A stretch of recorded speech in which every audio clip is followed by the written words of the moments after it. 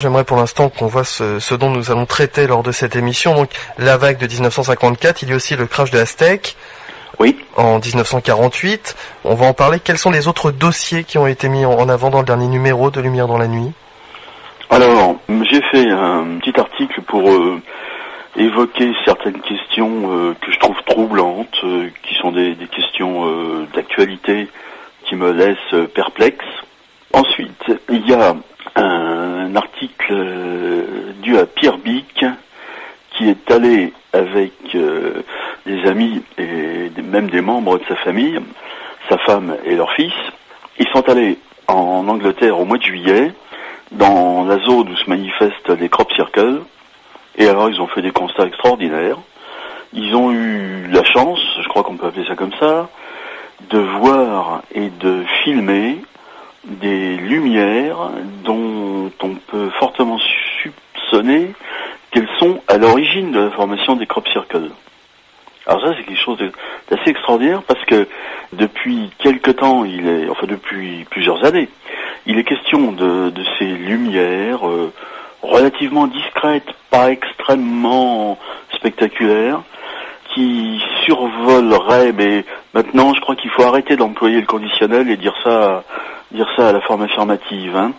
Euh, les lumières qui survolent, au moins dans certains cas, les champs juste avant ou pendant la formation des crops. Alors on en parle depuis euh, quelques années, et puis on en parle de plus en plus. Et là on a une équipe de sept Français qui sont allés là-bas fin juillet, qui ont observé la chose, donc les crops eux-mêmes, enfin tout au moins ceux qui étaient visibles là où ils étaient, qui ont vu ces lumières qui se promènent euh, au-dessus des champs. On est oui. en train de voir tous les thèmes. Non, mais je savais que tu allais partir au quart de tour sur ce sujet-là. Donc, euh, j'ai décrit à, à, ma façon ce qu'est Lumière dans la nuit. Mais si toi, tu devais le décrire, ce serait quoi? Ce serait la, la, réunion de plusieurs personnes portées par un même pôle d'intérêt C'est euh... Je dirais que Lumière dans la nuit, c'est une revue du phénomène ovni, mais sans se mettre euh, sur une position défensive sans frilosité excessive. Euh, c'est une revue qui est faite par des gens qui sont convaincus que le problème est réel. Il y a eu des tentatives euh, nombreuses. Bon, la question se pose parce que le problème est réel. Maintenant, ça commence à se savoir. Hein. Il suffit précisément de regarder euh, ce qui s'est passé en 54, par exemple, ou bien de regarder les informations qui sont en train de faire surface là depuis quelques mois sur le crash d'Aztec ou bien de regarder ce que racontent les gens qui sont allés, les Français, puisque c'est pour une fois c'est des Français qui sont allés euh, dans le wheelchair cet été et qui ont vu ces lumières qui accompagnent la formation des crops. Le problème il est réel. Bon, alors euh, tu me demandais de, définir LDLN, bah, c'est une revue qui aborde, je dirais franchement le sujet, sans fausse pudeur. Euh, moi, je crois pas que les, histoires de faiblesse des témoignages, euh, je, crois, que ça tient pas la route, je crois que ça tient pas debout. Je suis convaincu, il y a malheureusement longtemps que je fais de l'ufologie, hein, euh, j'ai de l'ancienneté dans ce domaine, euh, je suis convaincu que les témoins sont dans leur immense majorité des gens euh, sincères et lucides, qui simplement rapportent, quand ils osent le faire, ce qu'ils ont vécu. Alors, Alors, on essaie d'y oui. voir clair. Voilà, c'est tout, c'est simple.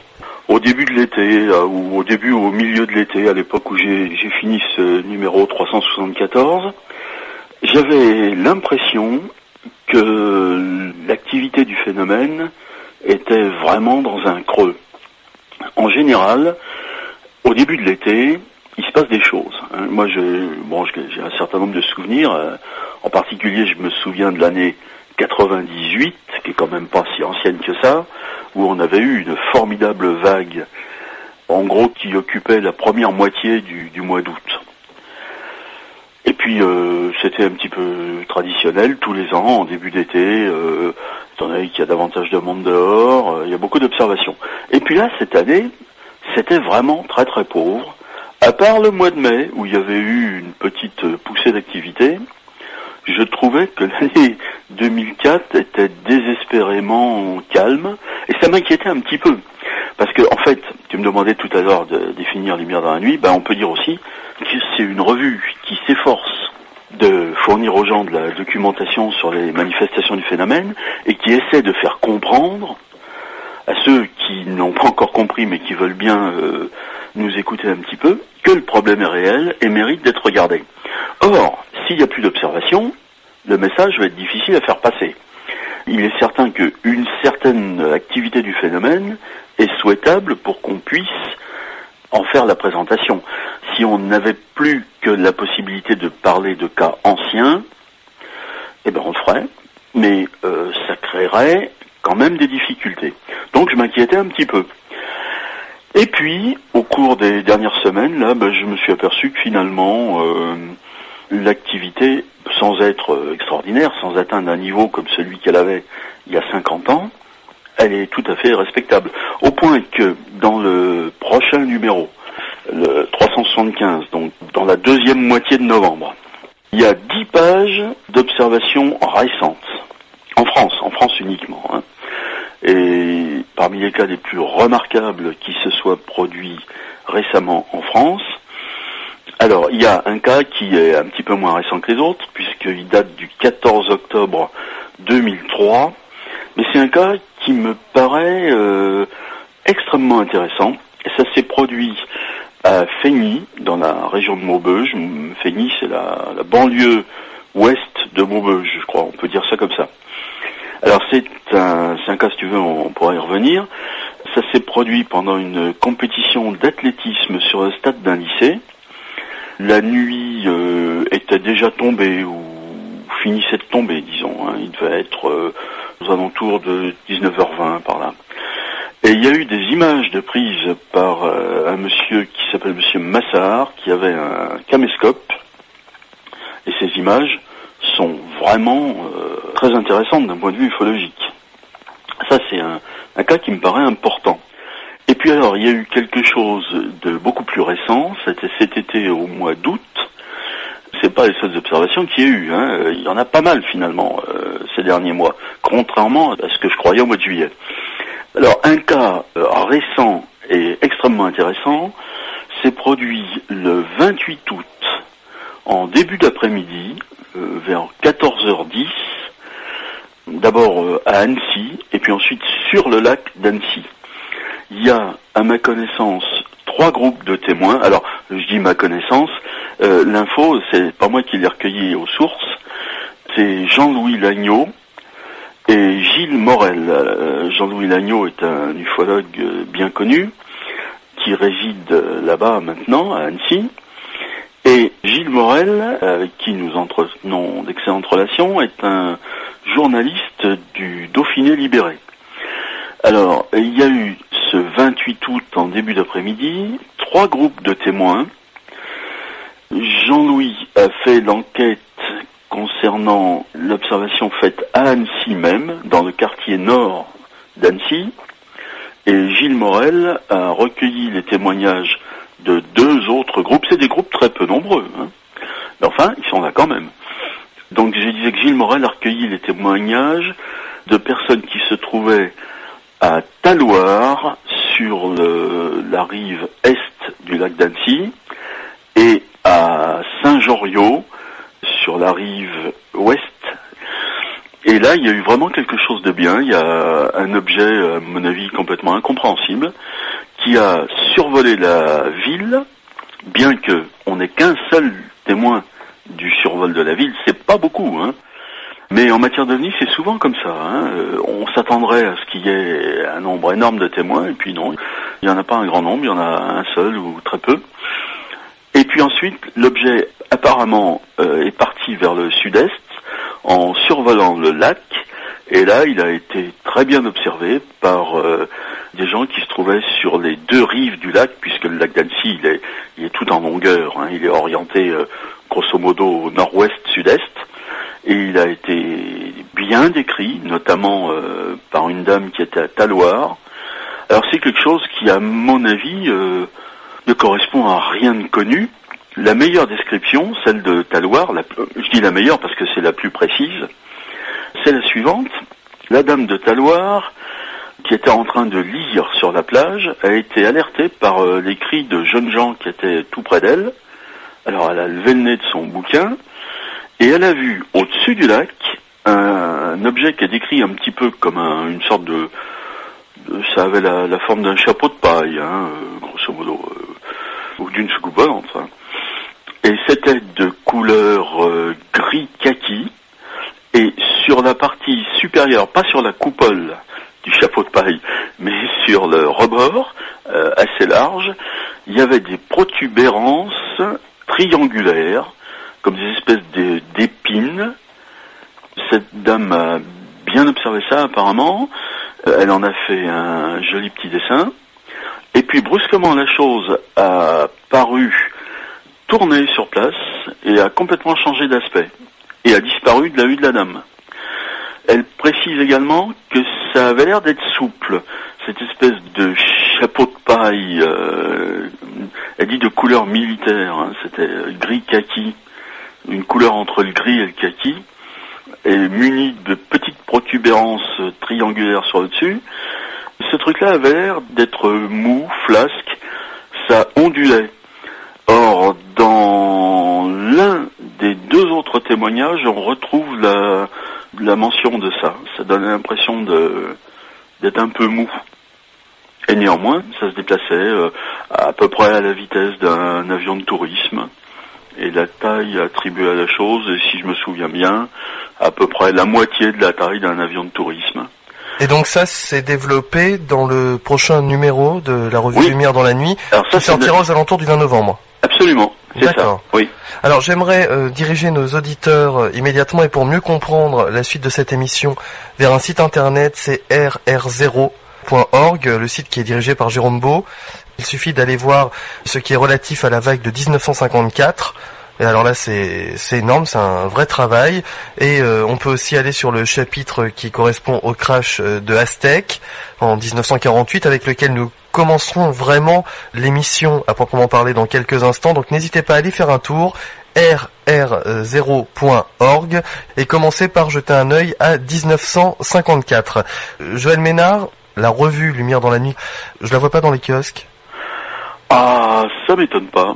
Non, elle n'est pas distribuable euh, actuellement euh, en kiosque. Elle n'a jamais été distribuée en kiosque, si ce n'est euh, il y a très longtemps, pendant une période très très courte. C'est un choix ou c'est un côté pratique et moins moins cher en tout cas À l'époque de où elle était faite par son fondateur Raymond Vélit, il avait fait le choix d'essayer. Et puis les résultats n'ayant pas été très bons, ça, ça se passait, ça devait se passer dans la deuxième moitié des années 70. Et l'expérience euh, n'a pas été concluante. Et depuis, la revue n'est distribuée que sur abonnement. Et nous reparlerons dans quelques instants de la possibilité de se procurer Lumière dans la nuit. Vous êtes à l'écoute de Radio Ici et Maintenant, 95.2. Notre invité est Joël Ménard, directeur de publication de Lumière dans la nuit. Et nous aurons dans quelques instants un invité, Joël Ménard, directeur de publication de Lumière dans la nuit. Joël qui est avec nous. Et nous sommes aussi avec Bernard Toinel. Oui, bonsoir euh, Alexandre, bonsoir Joël. Bonjour. Alors Bernard, tu es le rédacteur en chef de VSD hors série Oui, entre autres. Entre autres, tu as une autre passion, c'est l'aviation. Oui, absolument. Et, c'est d'ailleurs une passion qui vous réunit, toi et Joël. Ah bah oui, parce que moi j'ai fait mes premières armes, j'ai eu la chance de faire mes premières armes Aviation Magazine, qui était un véritable magazine d'aviation, euh, comme malheureusement on n'en fait plus maintenant, et où il y avait véritablement un, creuset, je dirais, de collaborateurs. On a eu la chance de travailler avec des gens, euh, je crois, comme Jacques Gambu, qui était entre autres un grand monsieur de l'aviation, et puis euh, Roger Cabiac, et puis, puis plein d'autres euh, journalistes qui sont maintenant malheureusement comme Jacques Dubourg, enfin des, des, gens qui, qui diront rien, mais pour nous, qui nous disent beaucoup. Puis bon, on a fait on a appartenu, je dirais, Joël et moi, au club des spotters puis bon bah je dirais c'était c'était quand même très convivial. Enfin tout ça n'existe malheureusement plus maintenant, c'est un peu dommage. L'aviation euh, emmène vers euh, vers l'étude du ciel plus approfondie et, vers l'ufologie. Euh, Joël Ménard Ah non, pour moi c'est deux choses totalement séparées. Il n'y en a pas un qui t'a emmené vers l'autre. En fait si, en fait si, ah. puisque je suis tombé dans cette marmite un après-midi de de janvier 66 où j'étais en train de photographier les avions qui atterrissaient au Bourget. et j'ai vu quelque chose qui était pour moi complètement inexplicable, et c'est en cherchant l'explication à ce que j'avais vu, mais qui n'était pas un ovni, qui était un, authentique phénomène d'optique atmosphérique, c'est en cherchant l'explication le soir même que j'ai mis le doigt dans l'engrenage. Donc je peux pas dire que c'est complètement dissocié, mais enfin les avions c'est les avions, et puis euh, l'ufologie c'est un tout autre domaine pour moi. Et pour toi, Bernard? Moi, c'est un petit peu comme, comme Joël, sauf que ce sont les pilotes qui m'ont ramené à l'ufologie, puisque moi, je m'y intéressais un petit peu dans ma jeunesse, comme je l'avais expliqué dans une précédente émission. Mais c'était euh, simplement une simple curiosité. Et puis, euh, c'est en écoutant les témoignages de, pilotes euh, autour de moi qui m'ont commencé, qui véritablement à me, réorienter sur ce sujet d'enquête et qui m'ont qui m'ont présenté, je dirais, le phénomène sous un jour nouveau, qui pouvait être euh, un objet, euh, l'objet d'étude euh, d'une étude sérieuse, parce qu'on ne pouvait pas mettre en doute la parole des pilotes qui fait part de leur témoignage. C'était évident pour moi et c'est vrai que d'un autre côté, j'ai toujours été captivé par les engins un peu expérimentaux, un peu un peu spéciaux. Puis je me demandais pourquoi souvent on essayait de mettre au point des engins que, par exemple comme l'Avrocar ou autres qui ne voulaient pas. C'est un peu tout ça qui m'a amené à m'intéresser au sujet. Hein. Alors Joël, nous allons commencer, euh, comme nous l'avions dit tout à l'heure, ce dialogue en parlant de ce supposé crash de Aztec en 1948 au Nouveau-Mexique. Et tu nous disais en, ouverture d'émission qu'il y avait de nouvelles informations qui étaient apparues cette année, lesquelles, et nous laisserons évidemment euh, Bernard réagir à, à tes propos. Oui, d'autant plus que Bernard doit avoir des informations que j'ai pas, certainement. Moi, j'ai découvert ça au mois de juillet, je crois, en lisant un numéro de la revue du MUFON, UFO Journal, que j'ai reçu. J'ai trouvé un article euh, d'un monsieur qui s'appelle Scott Ramsey, qui m'a vraiment laissé assis. Mais tu connaissais le, le crash de Aztec Les auditeurs ne le connaissent pas. Je connaissais très très très peu. Il faut savoir que ce crash avait une, une réputation déplorable. hein. Je crois qu'on peut dire euh, que c'était l'archétype du crash euh, douteux, mal documenté, euh, qui intéressait personne. Est-ce que l'un de vous deux pourrait retracer euh, l'histoire en les grandes lignes de ce crash? À toi l'honneur, hein, Joël. Je pense que Eh ben, euh, moi, je n'ai pas d'autres informations que ce que j'ai mis dans le numéro 374, c'est-à-dire l'article de Scott Ramsey dans le numéro, je crois que c'est 436 de UFO Journal, qui m'a vraiment stupéfié, parce que Scott Ramsey cite deux témoins directs de ce crash, enfin, non pas de la chute de l'objet, mais de la présence de l'objet au sol et de sa récupération par les militaires. hein. Mettons-nous bien d'accord sur ce qu'il faut entendre par euh, témoin direct. Témoin direct du fait qu'il y avait un ovni par terre et qu'il a été récupéré et qu'il y avait des petits bonshommes à bord. Alors, euh, Scott Ramsey cite deux témoins directs dont il donne les noms et trois témoins indirects. Alors, la notion de témoin direct et de témoin indirect, elle est familière aux gens qui se sont intéressés à l'affaire de Roswell, elle est probablement moins aux autres. Un témoin direct, c'est quelqu'un qui a vu la chose de ses propres yeux, et puis un témoin indirect, c'est quelqu'un euh, qui a recueilli des éléments qui confirment les témoignages directs. Alors là, il y en avait quand même cinq au total, hein, deux directs plus trois. C'était vraiment stupéfiant. Moi, je croyais que le crash d'Aztec, je savais d'abord, je savais pas très bien ce que c'était. J'aurais été, avant de lire cet article de Scott Ramsey, totalement incapable d'abord de dire où était la ville d'Aztec, ensuite de citer la date. Ça, maintenant, je sais. La date, c'est le 25 mars 1948, autrement dit, presque neuf mois après Roswell. Quant à la ville d'Aztec, elle est euh, tout au nord, euh, à la frontière, au nord, légèrement ouest de cet État. Et puis, euh, alors deuxième source, c'est un site internet qui s'appelle Aztecufo. Euh, on peut recommander ce site. Hein. Aztecufo, c'est alors c'est aztecufo.com. Aztecufo, c'est A-Z-T-E-C-U-F-O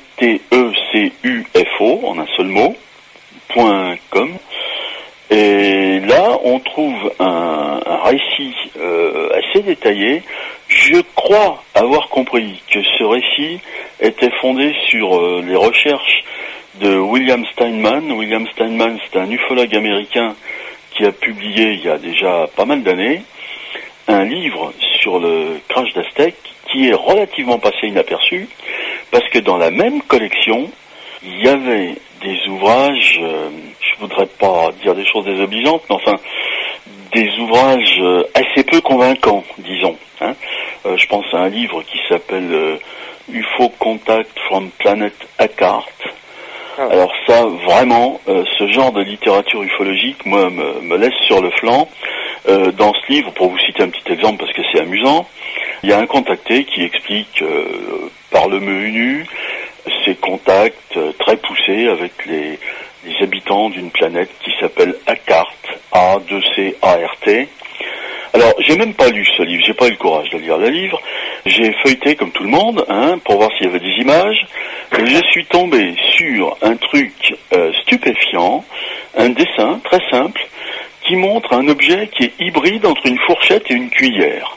Alors, vous prenez une fourchette euh, ordinaire et sur cette fourchette, vous greffez la partie creuse d'une cuillère et en gros, euh, ça explique que les habitants de la planète à carte, eh ben, ils utilisent ça au lieu d'avoir des fourchettes d'un côté et des cuillères de l'autre.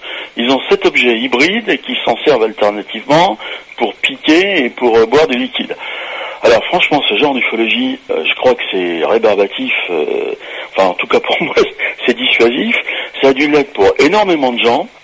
Et il s'est trouvé que le livre, qui est apparemment très sérieux, de William Steinman, qui s'appelle, euh, je crois, UFO Crash et Aztec, ce livre-là a été publié dans la même collection que ces bouquins difficilement crédibles, et ça a dû contribuer à, complètement occulter ce bouquin, ce qui est bien dommage. Je crois que c'est un livre de qualité qui est paru dans une euh, collection euh, dont on ne peut pas en dire autant.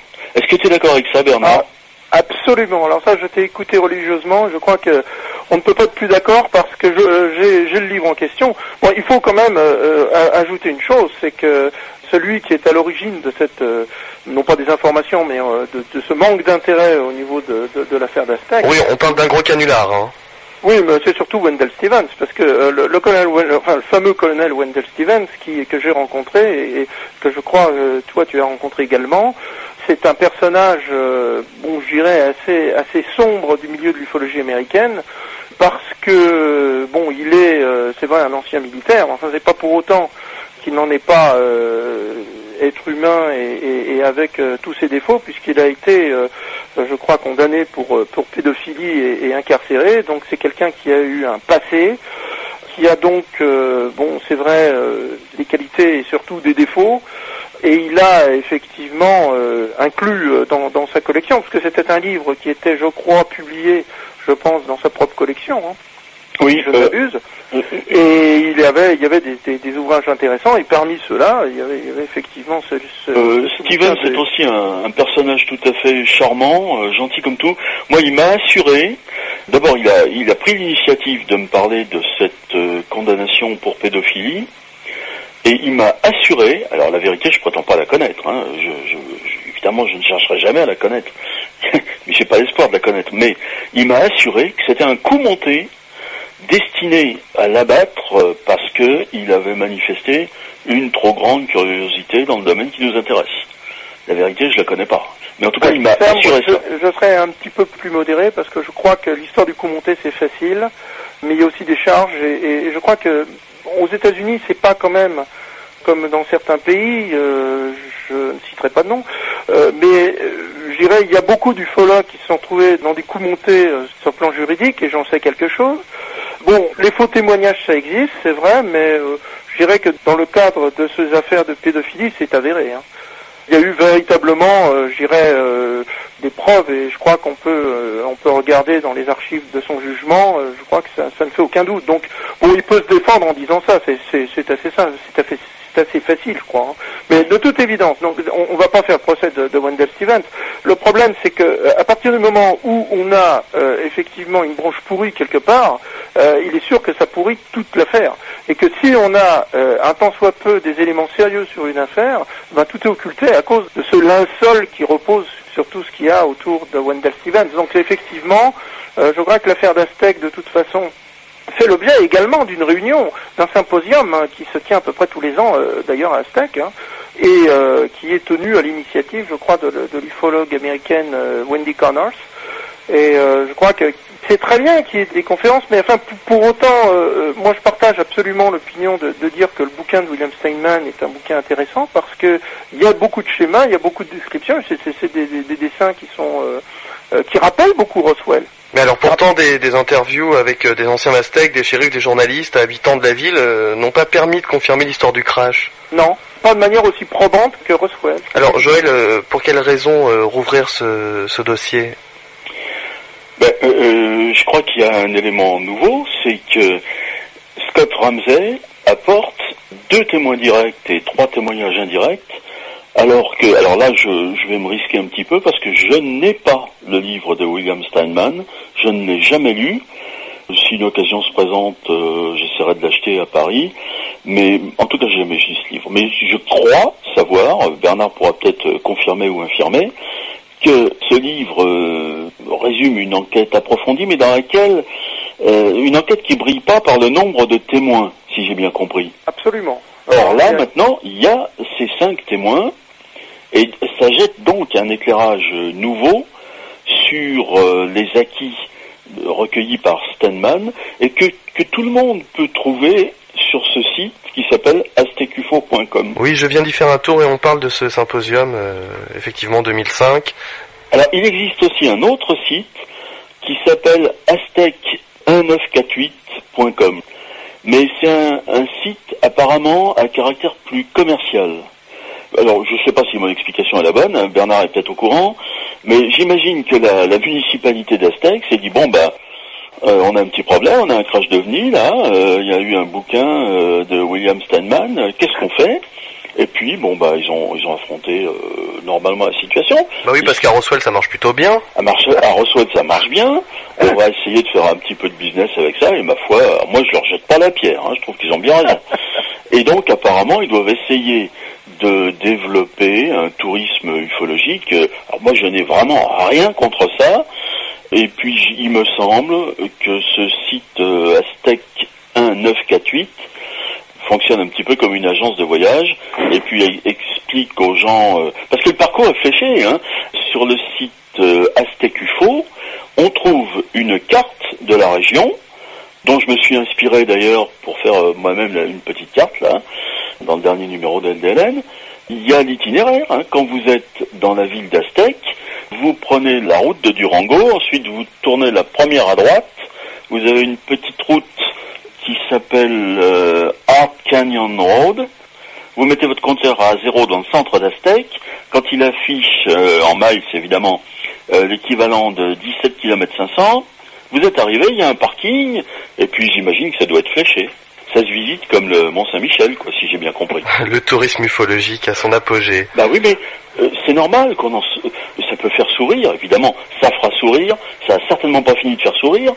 Mais euh, il me paraît logique et dans l'ordre des choses que ça aboutisse à ça. Hein. Alors Bernard, toi tu as les, les mêmes informations que Joël Ménard Oui, tout, tout, à fait. Et moi j'écoute euh, vraiment avec je me délecte d'écouter d'écouter Joël parce qu'il explique vraiment ça très bien.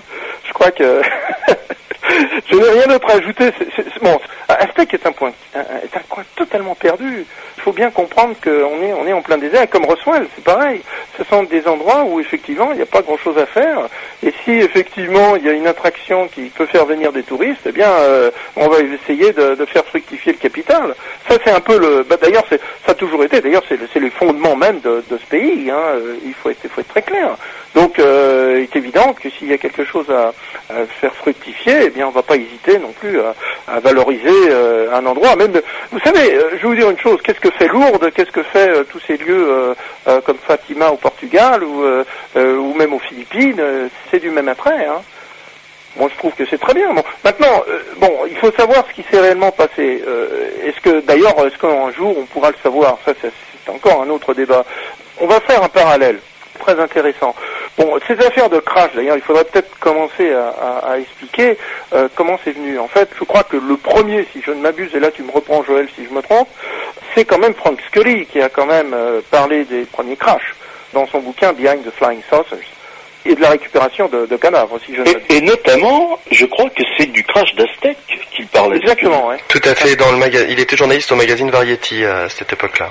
Ouais, absolument. Bah, C'était euh, d'ailleurs un des premiers journalistes euh, à avoir euh, abordé le, le sujet. Hein.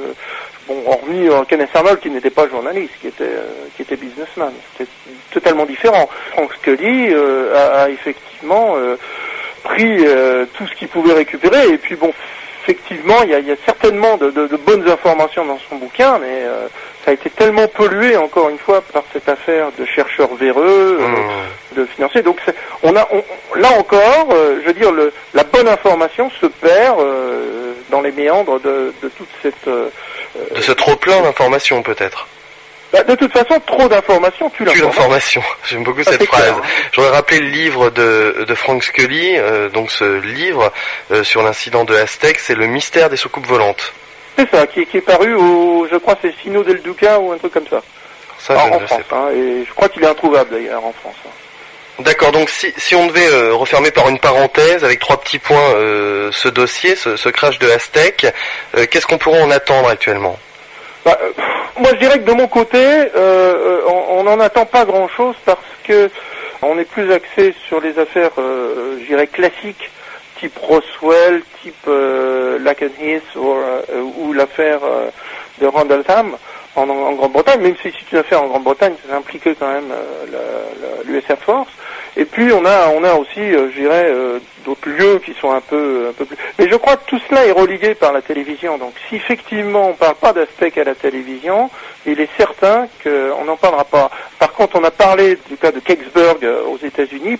Pourquoi Parce que on en a parlé par la, la, la chaîne de télévision Sci-Fi. Donc par la, la télévision, donc le média qui permet de, de faire apparaître ces histoires euh, et qui permet de faire vivre une, une petite bourgade aussi. Joël, pour toi, euh, qu'attendre justement maintenant de, de ce crash de Aztec Moi, je voudrais surtout pas que les gens en France cèdent euh, à cette tendance qui est très forte chez nous malheureusement, qui consisterait à déprécier cette histoire au seul motif qu'elle est probablement euh, exploitée localement. Euh, Bon, je crois qu'il est moins malsain de planter des poteaux pour indiquer le, pour flécher le parcours et amener au site du crash. Je crois que c'est moins malsain de faire ça que de répandre des mensonges comme on le fait en France sur par exemple les événements du 5 novembre 90. Je préfère un, climat ouvert à un climat fermé. Excusez-moi, j'ai une vilaine mentalité, mais je trouve que euh, si les gens peuvent aller euh, sur le site de Scratch, si ça tient la route, comme euh, il semble que ce soit le cas, bah, moi je, je trouve que c'est très bien, je m'en félicite. J'aime mieux ça que les cacheteries et les mystères, comme on en fait chez nous. D'accord, Joël. Voilà pour la, Ah, la- je suis d'accord, hein, il n'y a aucun problème. voilà pour la conclusion. Je vais même rajouter, Oui. je vais même rajouter, d'ailleurs quand on va aborder, je pense, un des, un des sujets euh, suivants, je pense que là, on va, on va effectivement mettre le, le- le doigt sur, euh, sur ce que dénonce Joël et que moi je, je dénonce aussi personnellement, c'est-à-dire véritablement le secret français qui est omniprésent.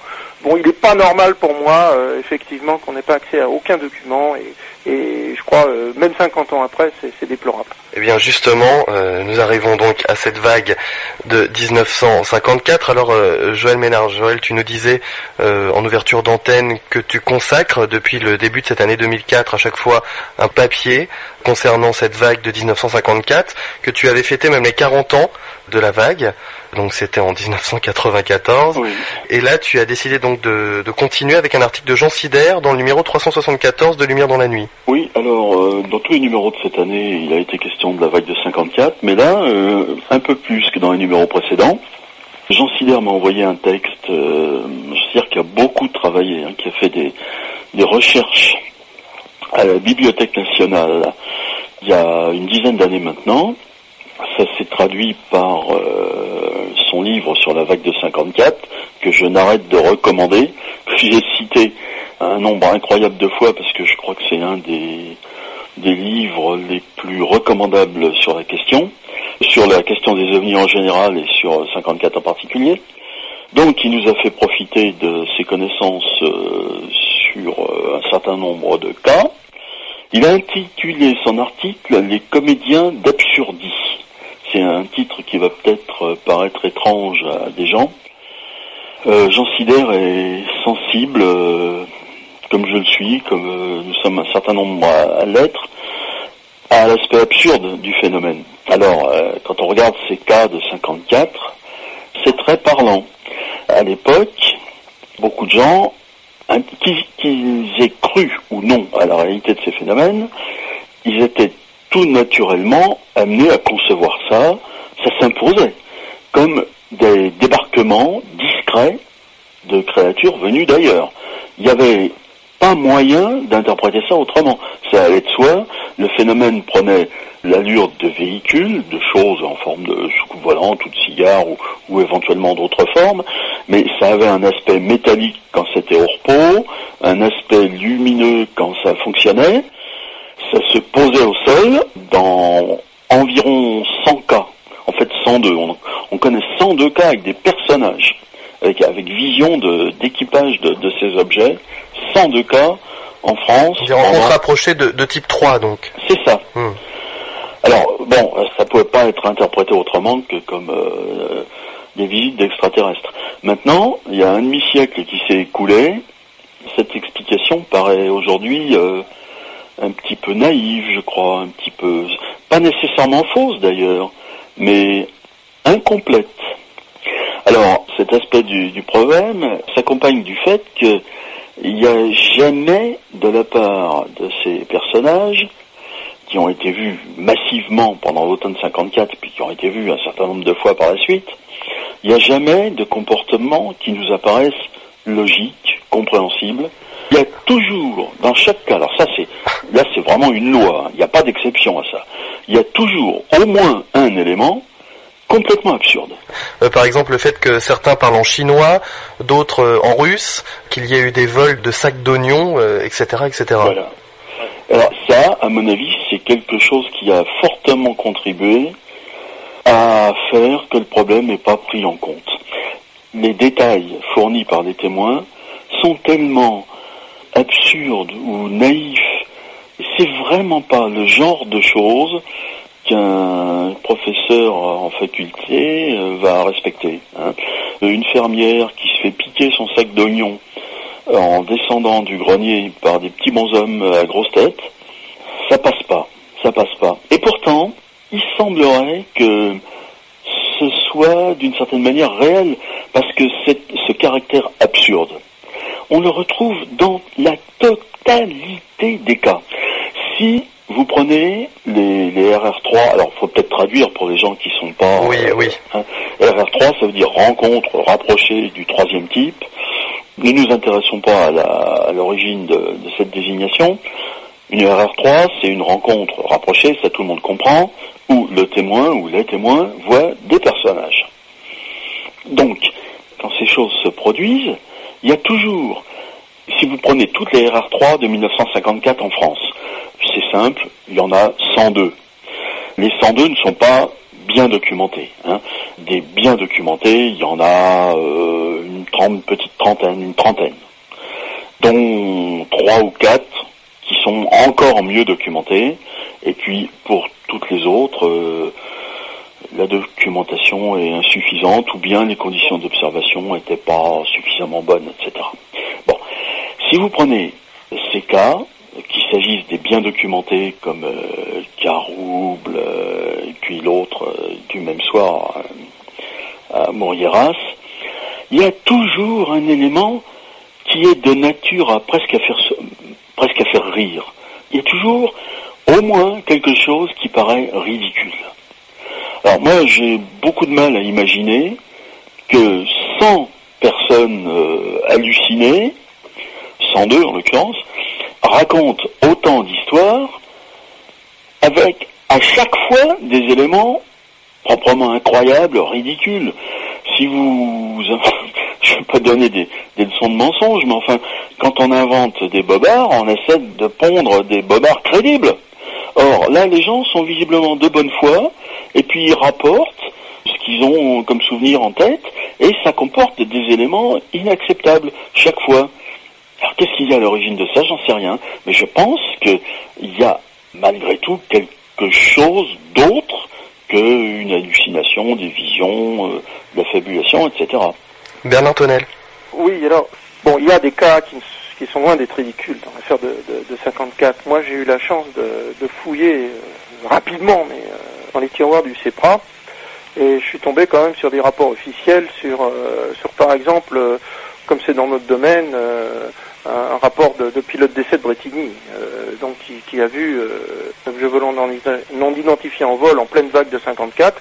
Ça, c'est pas connu parce qu'on pensait qu'il n'y avait pas de cas aéronautique. Or, moi, j'en ai trouvé tout de suite un.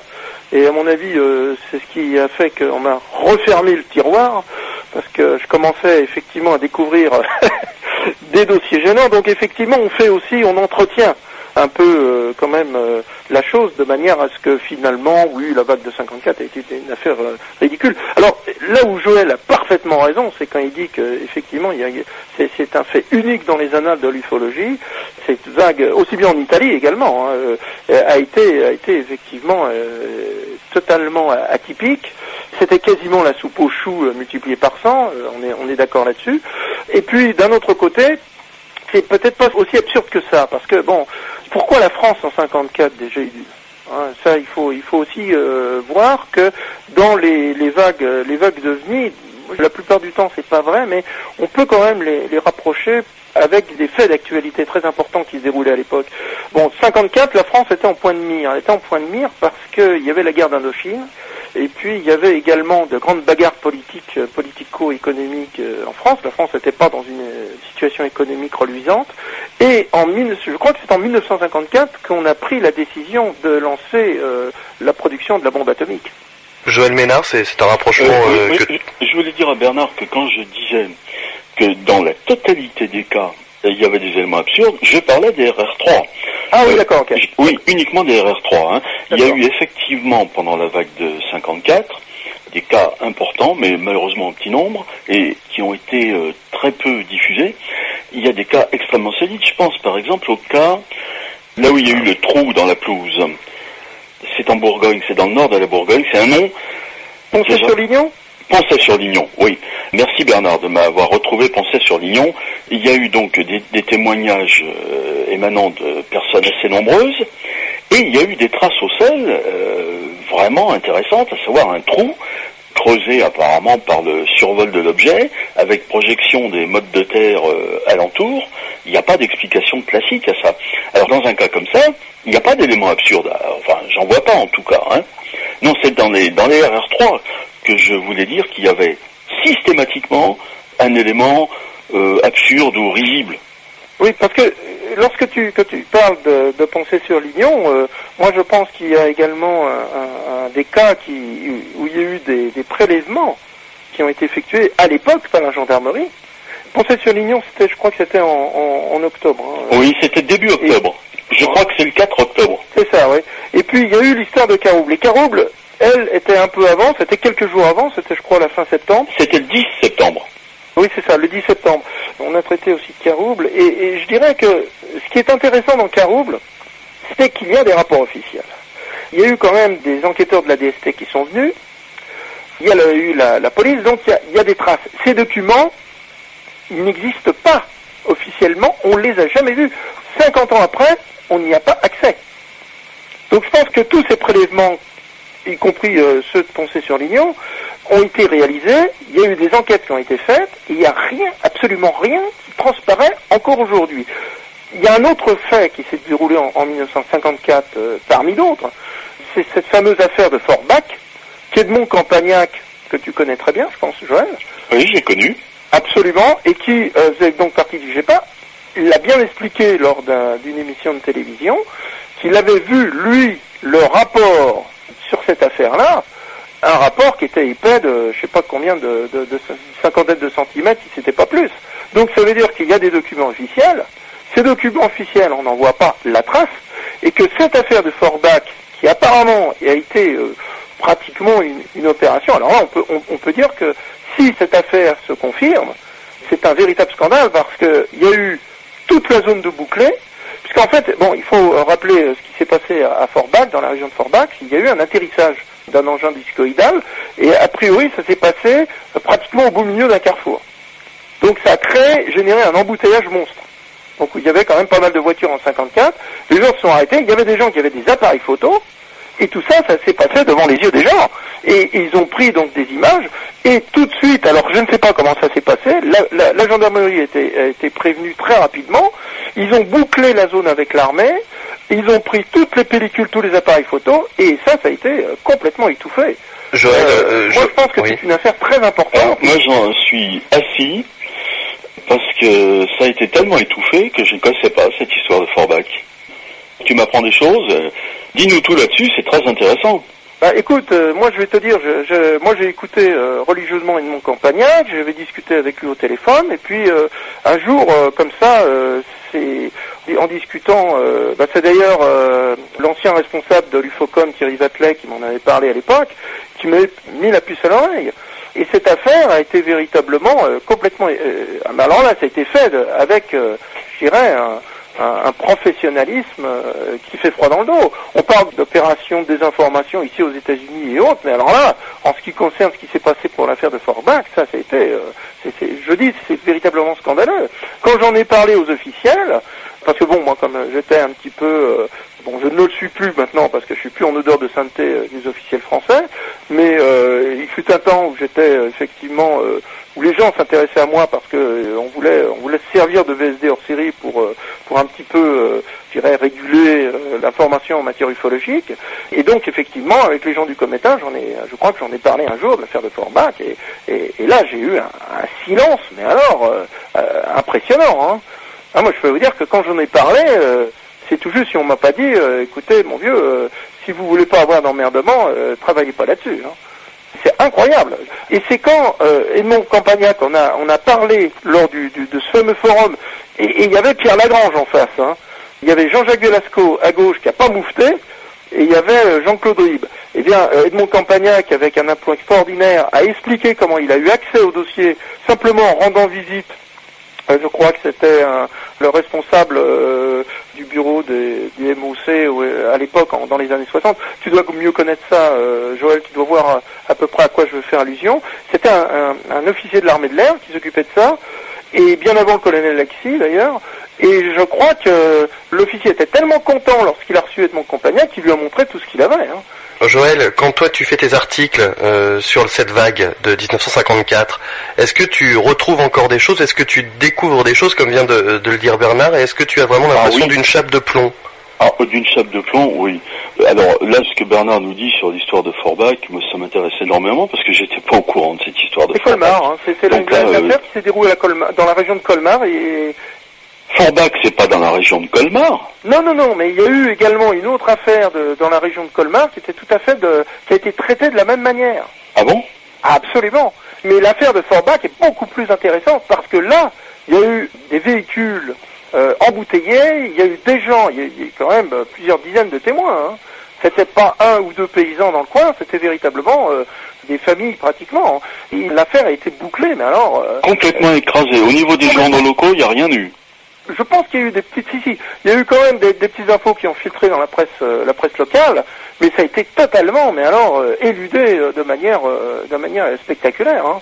Et alors, ce qui serait intéressant, c'est de savoir pourquoi on a éludé cette affaire. Je pense qu'il y a eu certainement des choses qui se sont déroulées, des, prélèvements, et, et là, manifestement, c'était avec toutes les photos, et c'est vrai que si c'était le cas, euh, c'était plus que des preuves. Hein. Alors messieurs, est-ce que vous pourriez rappeler à nos auditeurs qui ne sont pas tous au courant et qui n'ont pas forcément Internet, je les invitais en début d'émission à aller sur euh, rr0.org et taper euh, 1954 pour euh, voir la quantité d'informations, ce qu'il s'est passé cette année-là en France et ailleurs, et quelles sont les différentes choses que l'on a pu observer, avant d'aller plus loin sur des cas particuliers. Joël, Oui. qui viens de réaliser un article à ce sujet-là, je, je te laisse la parole. Ben, ce que les gens ont vu euh, en 54, Oui, voilà, en France et ailleurs, en fait, pour expliquer à nos auditeurs ce que c'est. euh, on, on peut, sans que ça produise de gaspillage, limiter le problème à la France. La vague n'était pas limitée à la France. Comme le disait Bernard tout à l'heure, euh, l'Italie notamment a été touchée. La Belgique aussi. Hein. Euh, ça, on le sait depuis euh, peu de temps, grâce à Jacques Bonabo du GESAG, qui a publié dans le petit bulletin du GESAG, le GESAG c'est une petite organisation euh, ufologique très estimable en Belgique, il y a eu des cas en Belgique, il, en a publié une liste. Bon, Il y a eu d'autres pays qui ont été touchés, même en dehors de l'Europe. Hein. Euh, il y a eu des cas au Venezuela, par exemple. Mais euh, on peut se limiter à la France parce que, non pas euh, par instinct de chauvinisme, mais parce que je crois que c'est là, apparemment, que le phénomène a présenté la plus forte intensité. Et, avec les cas français de, de l'automne 54, on a vraiment tout ce qu'il faut pour avoir une, une, vision précise de la chose. Alors, en ce que les gens ont vu, bah, ils ont vu ce qui s'appelait à l'époque des soucoupes volantes, il y a une multitude d'observations euh, d'objets en vol. Tout le monde peut s'en rendre compte en allant par exemple aux archives départementales du département où vous habitez ou d'un autre, peu importe, on est très bien reçu, la doc est facilement accessible. La doc, je veux dire les journaux de l'époque. Hein.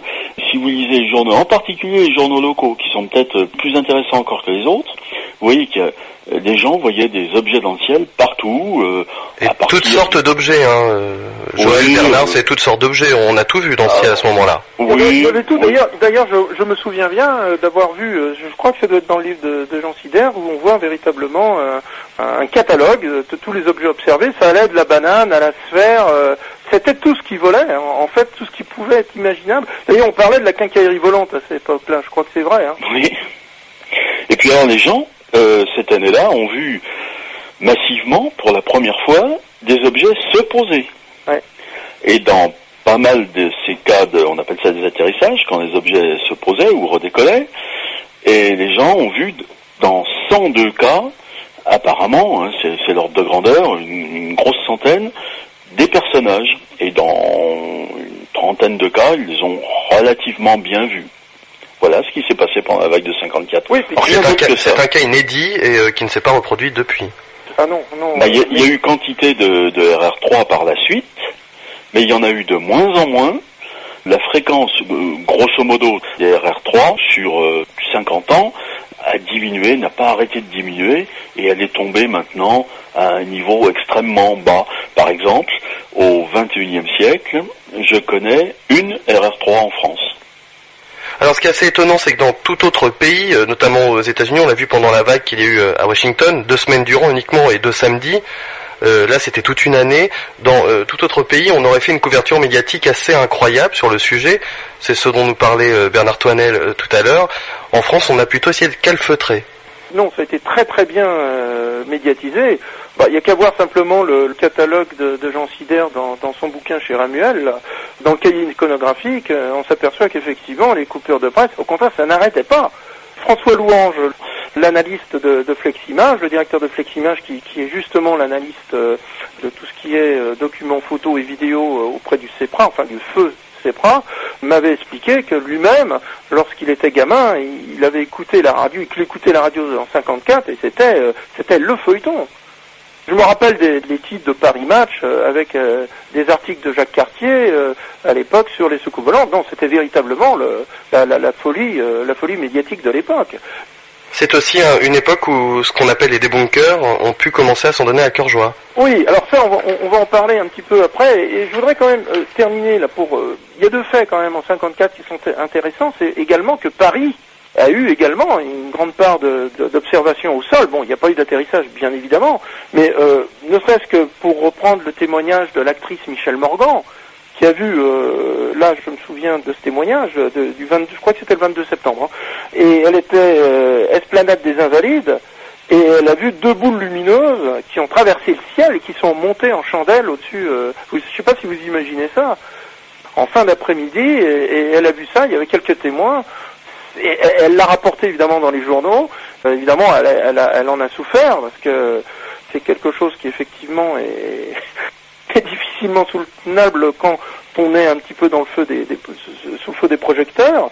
Et euh, elle a vu, elle a vu euh, un tel phénomène dans le ciel de Paris, donc en, pleine vague. Dans le même ordre d'idée, on a, on a aussi un, témoignage qui, moi, à mon avis, et, là, et là, Joël, je pense que tu vas me rejoindre, c'est qu'il y a eu le, fameux témoignage de, de Jeanne Farnier. Oui, c'était quand même. Euh, oui, absolument. Comment à sur morin Ah, absolument, qui était dans la région parisienne. Alors, Joël, pourrais-tu nous, nous décrire euh, ce témoignage? Et qui avait été interviewé par René Leduc, que tu connais très bien. Absolument, oui. Joël? Moi, je connais ça, je connais pas ça mieux que Bernard. Euh, je ne connais ça qu'indirectement par mes lectures. Eugène Farnier était un ingénieur aéronautique euh, très connu à l'époque, qui avait vu à Jouy-sur-Morin, c'est dans la vallée d'une d'une petite rivière qui doit s'appeler le Morin, je crois. C'est en Seine-et-Marne, hein, sur C'est euh, à une cinquantaine de kilomètres à l'est de Paris, je pense. Ouais. Et il avait vu un objet en forme de soucoupe, comme on en voyait quotidiennement à l'époque, qui jetait des gerbes d'étincelles, je crois, à sa périphérie, En spirale. En spirale, oui. Ouais. Et effectivement, euh, dans la, la presse de l'époque, il y avait eu une interview d'Eugène Farnier par René Leduc en personne. Ça paraît fou. Alors bon, il y a beaucoup de gens maintenant, malheureusement, qui savent pas qui est René Leduc.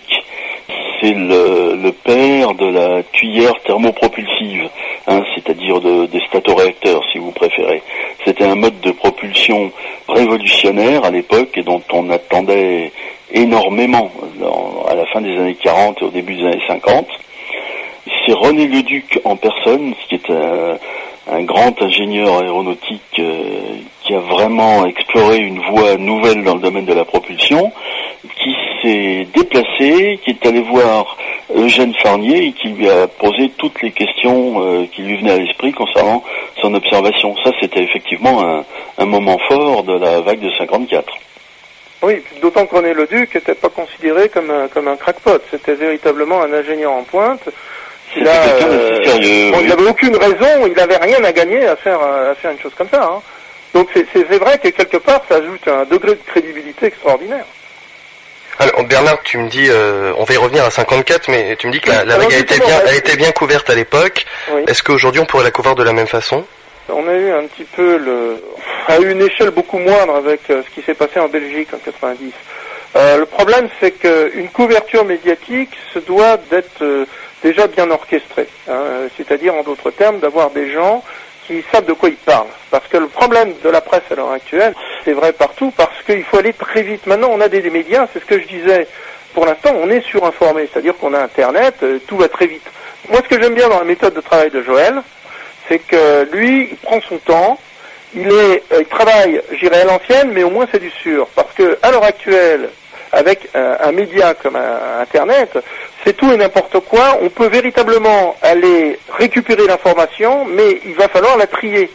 Et on la trie pratiquement en temps réel, c'est-à-dire qu'on peut pas savoir si c'est une affaire sérieuse, si c'est pas une affaire sérieuse, et puis tout de suite il va y avoir d'autres affaires qui vont arriver, des photos, des- et ça va être noyé. Et c'est vrai que maintenant, moi je suis internaute et je vois comment ça se passe, et c'est terrible, c'est horrible. Donc quelque chose qui se passerait comme la vague de 1954 maintenant, de nos jours, ça pourrait être très bien médiatisé, mais ça pourrait être le meilleur comme le pire. Parce que je crois que le problème, c'est que l'actualité allant, très vite, on n'aurait malheureusement euh, pas le recul qu'on avait à l'époque, où la chance de la vague de 54, ça a été que, finalement, ça soit principalement la radio, très peu la télévision, parce qu'il y avait très peu de gens à l'époque qui avaient la télévision, mais on avait surtout le recul de la presse écrite. Et la presse écrite a fait son boulot euh, relativement bien, que ce soit sur le plan national, sur le plan local. On avait quand même une très bonne couverture médiatique. Et puis il y a eu également des, faits, et là je voudrais quand même raconter une, histoire, peut-être que tu connais Joël, mais je voudrais euh, la raconter parce qu'elle m'a été racontée par l'intéressé lui-même, et quand on saura qui c'est, on, sera à mon avis d'autant plus intéressé. Il s'agit d'André Turca. André Turca a, pr- a préfacé un, un livre que j'ai commis l'année, la fin de l'année dernière sur le centenaire de l'aviation. Et en discutant avec lui, il m'a raconté une affaire qui est très intéressante, parce qu'il était à Istres à l'époque, et tu le sais, il était chargé entre autres des essais en vol d'un avion euh, que tu connais très bien, Joël, c'est le Gloster Meteor, mais un Gloster Meteor modifié, qui était un biréacteur euh, d'origine euh, anglaise, de construction britannique, et qui était un biplace. Alors là, je vais être un petit peu euh, nardu, mais il va comprendre, Joël va comprendre de quoi je parle. C'était, je crois, un NF-11 qui était chargé d'expérimenter des statos. Ah oui, c'est le 911-3, Voilà, peut-être, de la SFECMAS. exact. D'accord. Voilà. Voilà, tu vois, ce que- tu vois, Je que je, fais référence. Bon, et à l'époque, on parlait encore de soucoupe volante, on parlait, et André Turca, alors ça, c'est pas du tout euh, sur décision gouvernementale, euh, il a effectué, comme il m'a dit, une opération de debunking avant l'heure. Il s'est dit, bon, vous allez voir, moi, je vais vous faire une expérience et ça va faire euh, la manchette des journaux locaux sans aucun problème. Alors un soir, il fait un essai euh, de son cluster météore et puis il est passé euh, ras des pâquerettes avec son... son Avec les statos allumés. Il a allumé effectivement ses statos euh, alors qu'il commençait à faire nuit. Et puis, bah, euh, ça n'a pas loupé. euh, le lendemain, euh, soucoupe volante sur Ispre, etc., etc. Et ça, André Turcam l'a l'a bien bien précisé. Et, et- et il n'a pas arrêté de se marrer à la suite de ça. Donc, on peut voir quand même qu'au-delà de, de la simple formation, ça, ça influait quand même pas mal de choses. hein. Alors en parlant des debunking, revenons sur un, point qui est mis en avant par Jean Sider, par exemple la couverture euh, de l'humanité. La vérité sur les soucoupes volantes à l'époque. On voyait les titres comme Des témoins affirment avoir vu des soucoupes, ils sont trop nombreux pour qu'on hausse les épaules, qu'ont-ils donc vu? C'est le genre d'article qu'on pouvait lire en Enfin, mieux que ça, il, y 1954. avait, il y a- il y avait quand même des articles euh, du style euh, le garde champêtre se promet d'arrêter les occupants des soucoupes volantes ou alors on offrait un vin d'honneur au premier martien euh, qui se poserait dans le village. Joël Ménard Ben oui, euh, effectivement, la, la question a été prise à la rigolade et c'est bien triste. Beaucoup de gens n'ont pas compris à quoi ils avaient affaire parce qu'ils n'ont pas été témoins eux-mêmes et que je crois que c'est un réflexe beaucoup trop répandu chez nous. Quand on n'a pas vu une chose comme ça soi-même, c'est tout naturel de se moquer de ceux qui prétendent avoir vu. Euh, Enfin, pour moi, c'est un peu la définition même de la bêtise. Mhm. Et c'est toujours, euh, ça n'a pas changé, hein. 50 ans après, euh, ce réflexe-là, il est toujours là. Bon, la vague de 54, elle est éteinte depuis longtemps, mais le, le réflexe qui consiste à envoyer balader ce qu'on n'a pas vu soi-même, même si c'est trop novateur, je crois que le réflexe est toujours là dans la mentalité collective. Hein. Alors Il suffit de voir oui. les- tous les articles de presse euh, depuis euh, 20 ans qui sont intitulés euh, finement euh, OVNI soit qui mal y pense ou autres euh, subtilités du même genre. L'état d'esprit n'a pas changé. Hein. Euh, plutôt que de chercher à se documenter, on dénigre, on déprécie. euh, Ce qui est assez incroyable, Joël, Bernard, c'est c'est de ne pas voir des, des quotidiens à très grand tirage vraiment revenir sur le sujet, parce que quand on regarde les couvertures de journaux, par exemple la Nouvelle République de Bordeaux et du Sud-Ouest, une soucoupe volante se pose dans un jardin à Bergerac, ou euh, Nord-Éclair Lille du 16 septembre 1954, en grande page, hein, je veux dire. Ouais, ouais. C'est pas une colonne. Le passager d'un cigare volant qui a donné l'accolade à un paysan corésien n'avait rien d'anormal. Enfin, c'est le genre de titre. C'est dingue que cette année, en 2004, pour le cinquantenaire, il y a un vrai blackout là-dessus. Moi, je crois que Joël a, a parfaitement raison, parce qu'il il dit tout simplement, ce que moi, ce que tu m'avais dit au départ quand on commençait à travailler sur la question, tu m'avais dit, tu vas voir, euh, c'est incroyable euh, la chape de plomb qui, tombe là-dessus. Effectivement, quand on discute avec euh, aussi bien les officiels ou autres, alors moi, je rencontre, euh, je peux vous dire, des, tas de gars qui me disent, ah bah moi j'ai vu ça. Moi, j'ai rencontré un ancien pilote de tour euh, sur Alpha Jet qui m'a dit, ah bah tiens, moi j'ai vu tel truc. euh, je faisais un vol de nuit, euh, le gars est instructeur, il est quand même crédible. Il y a des tas de pilotes que je rencontre, et puis dès, que je commence à leur dire, bon, vous pourriez peut-être parler, ah bon non, non, non, oh là là, je veux pas être emmerdé, euh, ou alors euh, c'est du style, euh, bon bah si vous parlez de ça, il faut pas donner mon nom, il faut pas ceci, il faut pas cela. Donc c'est vrai que, que quelque part, on a euh, une chape de plomb qui retombe automatiquement, on en parle, c'est une chose totalement banale, je dirais quand on en parle de, pratiquement au, au- bar de l'escadrille, et puis dès que on commence à, un petit peu approfondir la question, là je crois qu'il y a, c'est pas un réflexe de, secret, c'est un réflexe de, je crois, de, peur, de dire je veux pas être embêté, euh, et effectivement euh, c'est le, le, le réflexe normal de, personnes qui ne veulent pas être accommodées. Moi je, moi, je pense que Joël peut en parler encore, euh, encore mieux que moi.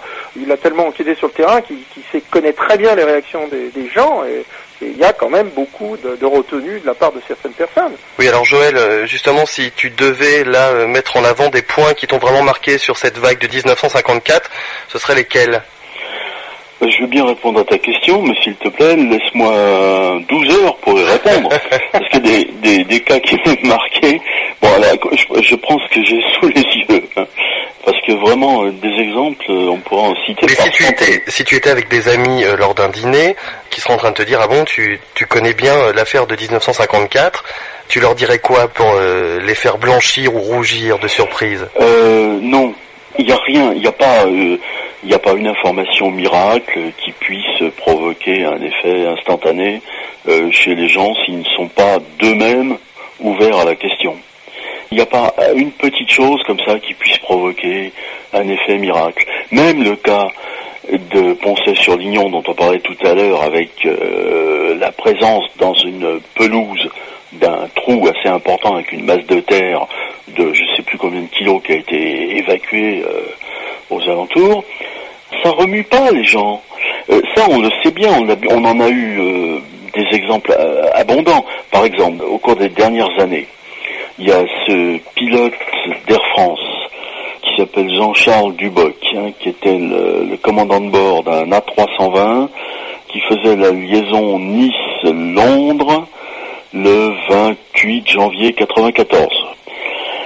Ce pilote, ainsi que le copilote, qui était une jeune femme, et le, steward, ont vu alors qu'ils survolaient la proche euh, banlieue est de Paris, dans la au-dessus de Coulommiers, grosso modo.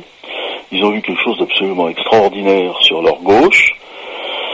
Et cet objet a été repéré par le radar de Taverny à tel point que dans le récent livre de Velasco, il y a la trajectoire du truc qui est reconstituée à partir des enregistrements radar. Moi, j'ai vu, pourtant je regarde rarement la télévision. Hein, surtout quand elle est allumée. Moi je la vois, mieux je me porte. Mais euh, tout en regardant extrêmement peu la télévision, j'ai quand même vu plusieurs fois Jean-Charles Duboc exposer euh, son observation. Cette observation a été exposée dans un certain nombre de publications, peut-être bien dans VSD hors série, Bernard, non? Ah Oui, tout à fait. Oui, bon. Ça a été donc euh, dans le livre que je citais à l'instant, à une large échelle. Ça n'a produit aucun effet. Je voulais, simplement faire une parenthèse que Jean-Charles Duboc, euh, bah, je peux te dire que c'est moi qui l'ai euh, convaincu de s'exprimer à visage découvert. Ah bah bravo euh, c'est en fait, euh, j'avais été mis. En fait, on m'avait fait barrage. je voulais, je veux pas dire qui. On m'avait fait barrage pour pas que j'ai accès à, à Jean-Charles Duboc. Et en fait, Jean-Charles Duboc m'a contacté directement et je l'ai convaincu. Et il m'a dit, si je suis tout seul, c'est fini. J'ai dit, écoutez, vous ne serez pas tout seul, il y aura 12 autres pilotes, parce que j'ai voulu justement grouper les champs et pas les isoler. Ça, c'était, mon, objectif. Euh, après ça, euh, c'est vrai que bon, on est allé, euh, on est allé les interviewer, les uns derrière les autres, et c'est vrai que quelque part, on a travaillé ça avec, entre autres, bon bah à l'époque Jean-Gabriel Grélé comme conseiller technique, donc c'est vrai qu'il a aidé parce que comme lui était pilote, c'est vrai que ça a un petit peu motivé les autres. C'est certain que si j'avais été tout seul pour, surtout les gens d'Air France, je ne crois pas qu'ils auraient répondu positivement. Donc c'est déjà, il y avait déjà un, un, je dirais un obstacle, un obstacle psychologique. Donc c'était, je dirais, une frontière un petit peu à, passer. Une fois que c'est passé, euh, les gens m'ont parlé. Mais alors, euh, moi je me souviens surtout. tiens, tu parlais du 5 novembre 1990. Alors maintenant, on peut, on peut, on peut dévoiler. Moi, quand je suis allé rencontrer euh, un certain colonel sur une base aérienne qui m'a raconté des choses, il m'a il m'a parlé du 5 novembre. Euh, alors là, euh, je peux te dire que toi tu aurais été au plafond parce que il n'y avait pas que des hein, des kidam, hein, il y avait beaucoup de militaires qui ont vu quelque chose ce 5 novembre, hein, et pas des moindres. Des gens comme Jean-Pierre Ignoré, il y avait, je peux te dire, le colonel Krim qui l'a vu également. Il faut quand même relativiser. Et tout le monde s'accorde à dire que c'était pas seulement hein, euh, une retraite sphérique, ça c'est évident. C'est-à-dire donc euh, là il y a quelque chose qui mérite une explication parce que bon d'un côté on, nous explique effectivement qu'il y a une alors c'est possible, il y a eu ça c'est vrai, il y a eu une rentrée atmosphérique, mais qu'elle explique des témoignages de pilotes, je pense, je pense au, commandant Loiseau qui était pilote de Super Mystère B2, qui sait quand même reconnaître une rentrée atmosphérique d'autre chose. Ces témoignages-là, on les jette pas. Hein.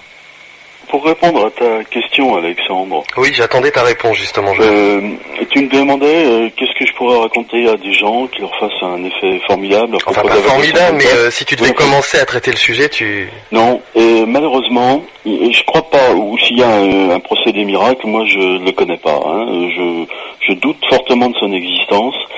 Si les gens veulent réaliser ce qui s'est passé à cette époque-là et ce qui s'est passé depuis et dans quelle situation on est, eh ben, il faut au contraire se donner du temps.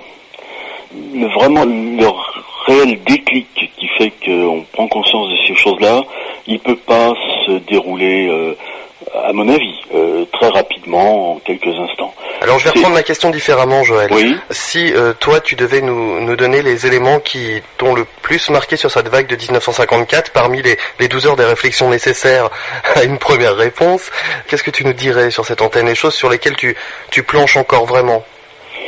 Ben, euh, en fait, la vague de 54, maintenant, c'est un petit peu du passé. hein. On travaille davantage sur des questions d'actualité, c'est normal. Mais bon, si tu veux vraiment euh, qu'on en revienne à 54, moi je dirais qu'il faut examiner un par un les cas qui paraissent les, les plus solides, les, les- les mieux attestés. Voilà ce qu'il faut faire. Il faut se plonger dans la documentation qui est accessible. Dans le premier numéro de cette année, euh, autrement dit, dans le premier dans lequel j'ai commencé à célébrer le 50e anniversaire de la Grande Vague, j'ai commencé par faire un tour d'horizon des sources disponibles. Il n'y a pas un événement, sauf peut-être Poncet-sur-Lignon ou Forbach, mais que je ne connais pas, hélas, et pour cause. Euh, Bernard vient de nous expliquer pourquoi, puisqu'il y a eu un, un cover-up euh, drastique là-dessus. Bon, à part euh, un ou deux cas comme ça, euh, je vois pas de cas qui soient plus bouleversants que les autres. C'est l'ensemble qui est bouleversant. Mhm. Alors les sources, elles existent. Il y a toute la presse de l'époque qui est hautement recommandable. Bien souvent on traite le sujet à la légère, mais enfin ça, on peut naviguer à travers ça quand on lit la presse de l'époque.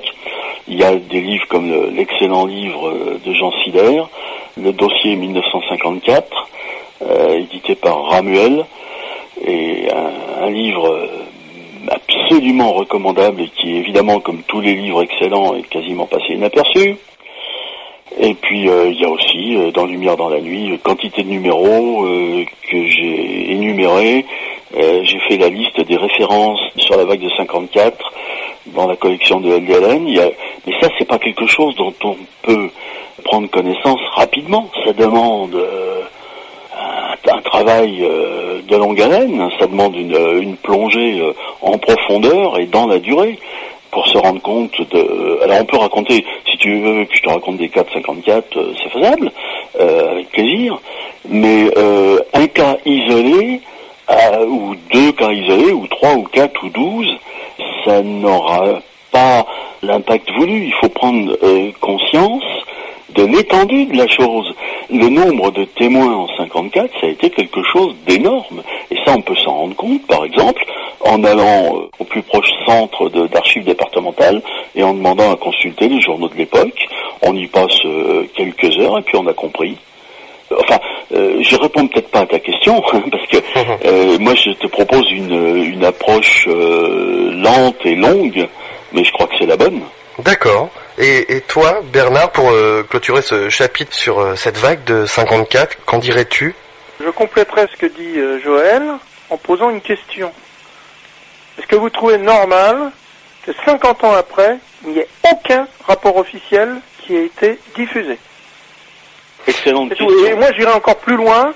Je dirais, est-ce que vous trouvez normal dans un pays qui euh, se dit euh, démocrate, est-ce qui se dit euh, ouvert, euh, qui se dit euh, représentatif des, des droits de l'homme, est-ce que vous trouvez normal que dans ce pays, il n'y ait pas la possibilité d'avoir accès aux données, aux analyses, aux rapports officiels de cette vague? Moi, je dis que cette, euh, cette question, est, elle est euh, primordiale. Très bien, je- Moi, je dis que c'est absolument anormal, et tant qu'on en sera là, je crois que l'étude ufologique, d'une manière générale, d'une manière officielle, n'avancera pas en un pouce. Joël Ménard est avec nous. Joël Ménard, directeur de publication de Lumière dans la nuit. D'ailleurs, on n'a pas dit, Joël, comment se procurer Lumière dans la nuit. Pour se procurer Lumière dans la nuit, ben, le- la meilleure des choses, c'est de s'abonner.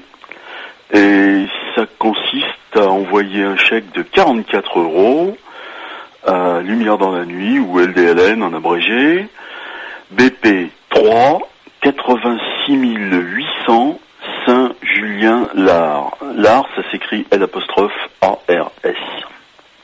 Très bien, et nous répéterons évidemment cette adresse avant la fin de l'émission. Et nous sommes aussi avec euh, Bernard Toinel, rédacteur en chef euh, des VSD hors série, entre autres, évidemment. Il y a aussi un, livre qui est sorti sur l'aviation à la fin de l'année dernière, et un- une sorte de gros bouquin récapitulatif sur les, sur les ovnis, euh, objets volants non identifiés, qui lui, euh, pour une personne qui débute, en quelque sorte, dans ce milieu et qui s'y intéresse, euh, lui permet de faire un tour d'horizon euh, de la chose. Ça te va comme résumé, Bernard, ou pas? C'est un livre qui est en fait euh, un petit peu une, une, synthèse de mes enquêtes jusqu'en 2003, oui c'est ça, jusqu'en 2002-2003. Il est loin d'être exhaustif. Il a peut-être l'inconvénient d'être trop gros. Il a peut-être l'inconvénient d'avoir été effectivement trop massif. Il y a certainement trop d'informations dedans, mais surtout, ce qui est important dans ce livre, c'est les facsimilés officiels des documents. C'est-à-dire en fait que même du côté français, d'ailleurs on me l'a reproché, c'est d'avoir publié des, correspondances avec des pilotes et surtout euh, qui démontraient que, finalement les, rapports d'analyse n'allaient pas uniquement au Centre national d'études spatiales mais également euh, au bureau espace de l'armée de l'air. Et il a été publié aux éditions Michel Lafont. Michel Lafont. Alors dans le dernier numéro, le 374 euh, de Lumière dans la nuit, Joël Ménard, il y a des cas qui te laissent perplexe. Oui, enfin c'est des questions euh, sur lesquelles on retombe éternellement, oui, qui me laissent perplexe. Je pense par exemple à ceci. Il y a eu l'année dernière, en 2003, à la fin du mois d'août 2003, deux observations qui se ressemblent d'une manière frappante. Alors, je vous raconte ça pour essayer de faire comprendre l'horrible complexité des questions qui se posent. Hein. Alors là, on, rentre dans le compliqué, je le regrette, mais c'est comme ça. Bon, dans une petite ville qui s'appelle Arbois, c'est soit dans le Jura, soit dans le Doubs, je crois que c'est dans le Doubs. Un monsieur, monsieur Dubrez, voit par la fenêtre de sa maison euh, son jardin, et au fond de son jardin, il y a cinq ou six boules de la taille de balles de tennis ou guère plus, peut-être euh, légèrement lumineuses, qui sont disposées en file indienne et qui avancent euh, en file indienne comme des Dalton en ondulant, c'est-à-dire que l'alignement de ces cinq boules, au lieu d'être rectiligne, ça avance en ondulant et puis ça disparaît vers la gauche euh, du témoin, au-dessus du terrain du voisin. À peu près à la même date, à quelques jours près, une dame de Poitiers que j'ai rencontrée, dont j'ai fait la connaissance au mois de juin cette année, m'a raconté exactement la même chose. C'est-à-dire qu'elle m'a affirmé avoir vu exactement ça. La seule différence, c'est le nombre de boules. Je crois qu'à Arboin, il y en avait 5 et à Poitiers 6, ou bien alors c'est le contraire. 6 hein. euh, dans, dans un cas, 5 euh, dans d'autres. Mais même description pour les boules, pour leur taille, leur aspect, et puis surtout le, mouvement ondulant. Alors le cas d'Arboin, je ne l'ai connu que par courrier, et le témoin, M. Dubrez, me disait que ça ondulait. Dans le cas de Poitiers, je revois encore le geste que faisait cette dame pour m'expliquer. Elle tendait le bras, elle écartait les doigts, et puis euh, avec ses doigts écartés, elle faisait le mouvement d'une vague. La description de Poitiers ressemblait de façon frappante à celle d'Arbois. La date, c'est pratiquement la même. On la connaît de, façon précise dans le cas d'Arbois, euh, un peu moins précise pour Poitiers, mais c'est à quelques jours près la même date. Quand vous tombez sur un cas comme ça, vous vous dites ça, c'est du solide. Ça, c'est pas des gens qui ont affabulé, c'est pas des gens qui racontent des histoires, c'est pas des gens qui rêvent, puisqu'ils décrivent exactement la même chose, pratiquement à la même date. Là, je tiens du solide. C'est deux cas qui se confirment mutuellement.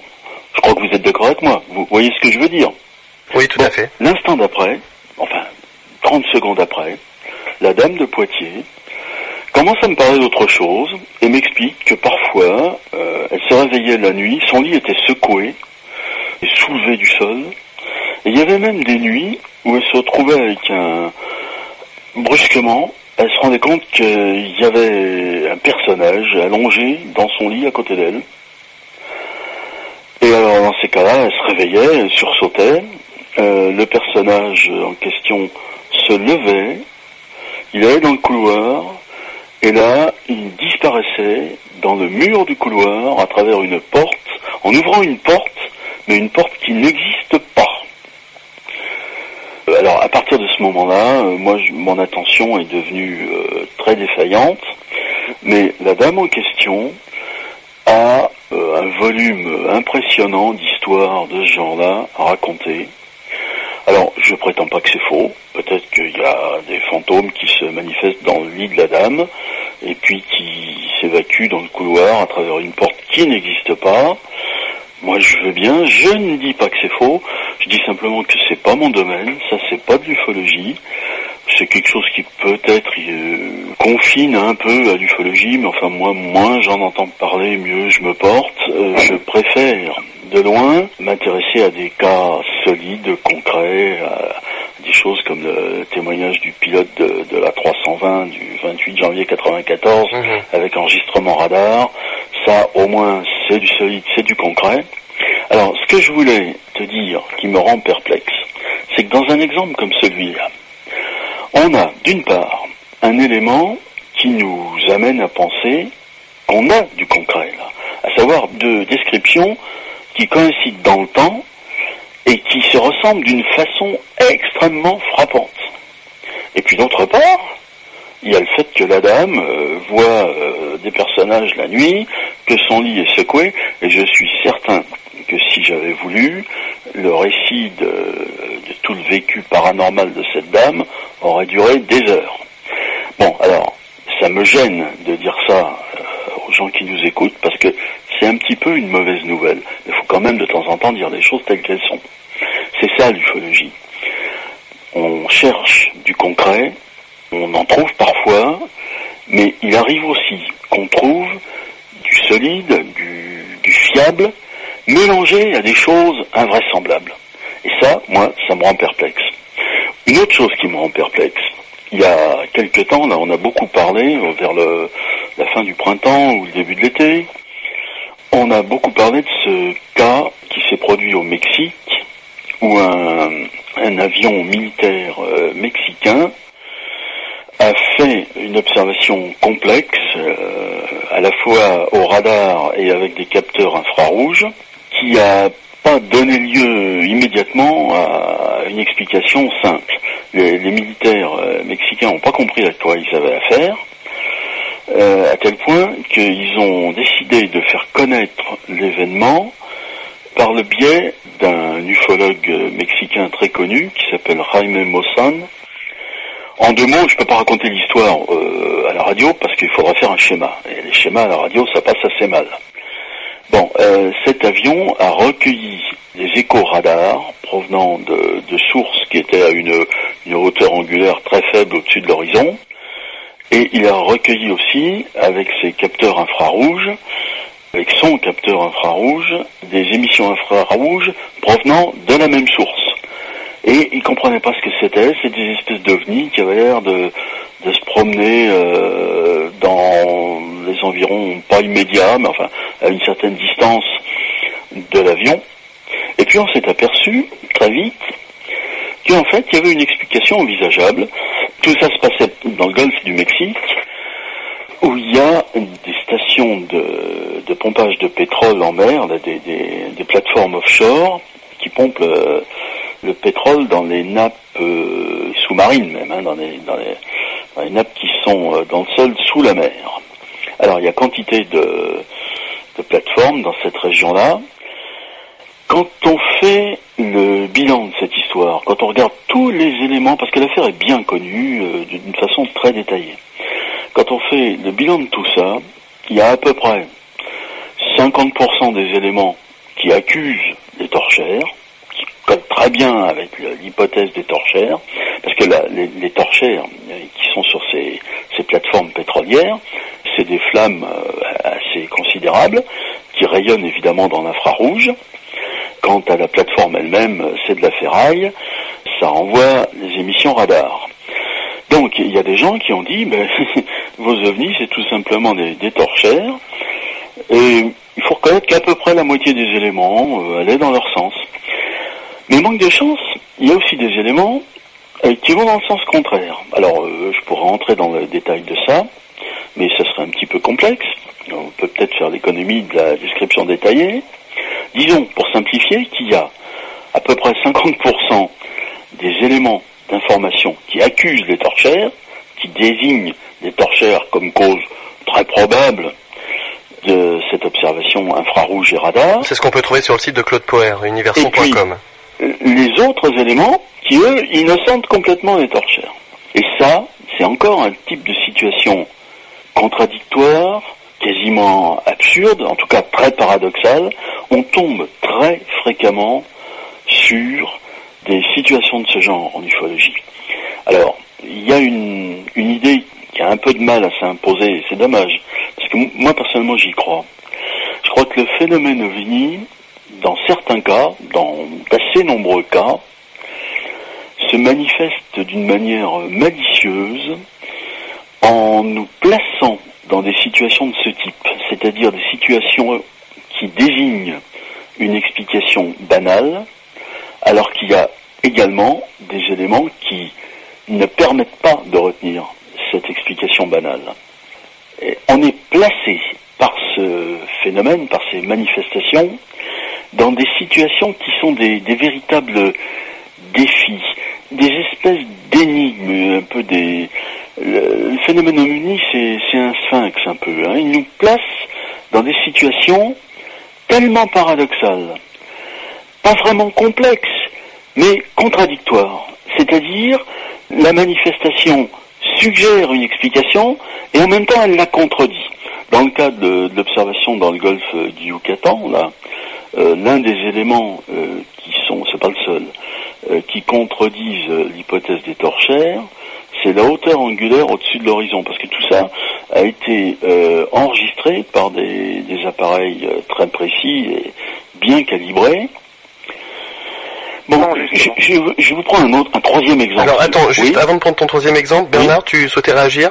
Oui, je, justement, là il y a, y a, un élément fondamental euh, que, que, je voudrais euh, donner. Euh, bon, c'est pas du tout pour contredire Joël. Hein, il, il, a ses éléments et, bien sûr. Bon, euh, évidemment, nous on a, moi j'ai posé pas mal de questions et justement une consoeur mexicaine qui travaille, qui est très proche de la force aérienne mexicaine et qui a posé certaines questions que j'ai transféré ensuite à, Claude Poer. Bon, il se trouve que euh, malheureusement, je dirais que on en était tous là. Moi, j'aurais bien voulu également que ce, que ce cas soit un cas d'école. Or, il n'a pas été dans le dans le bon sens.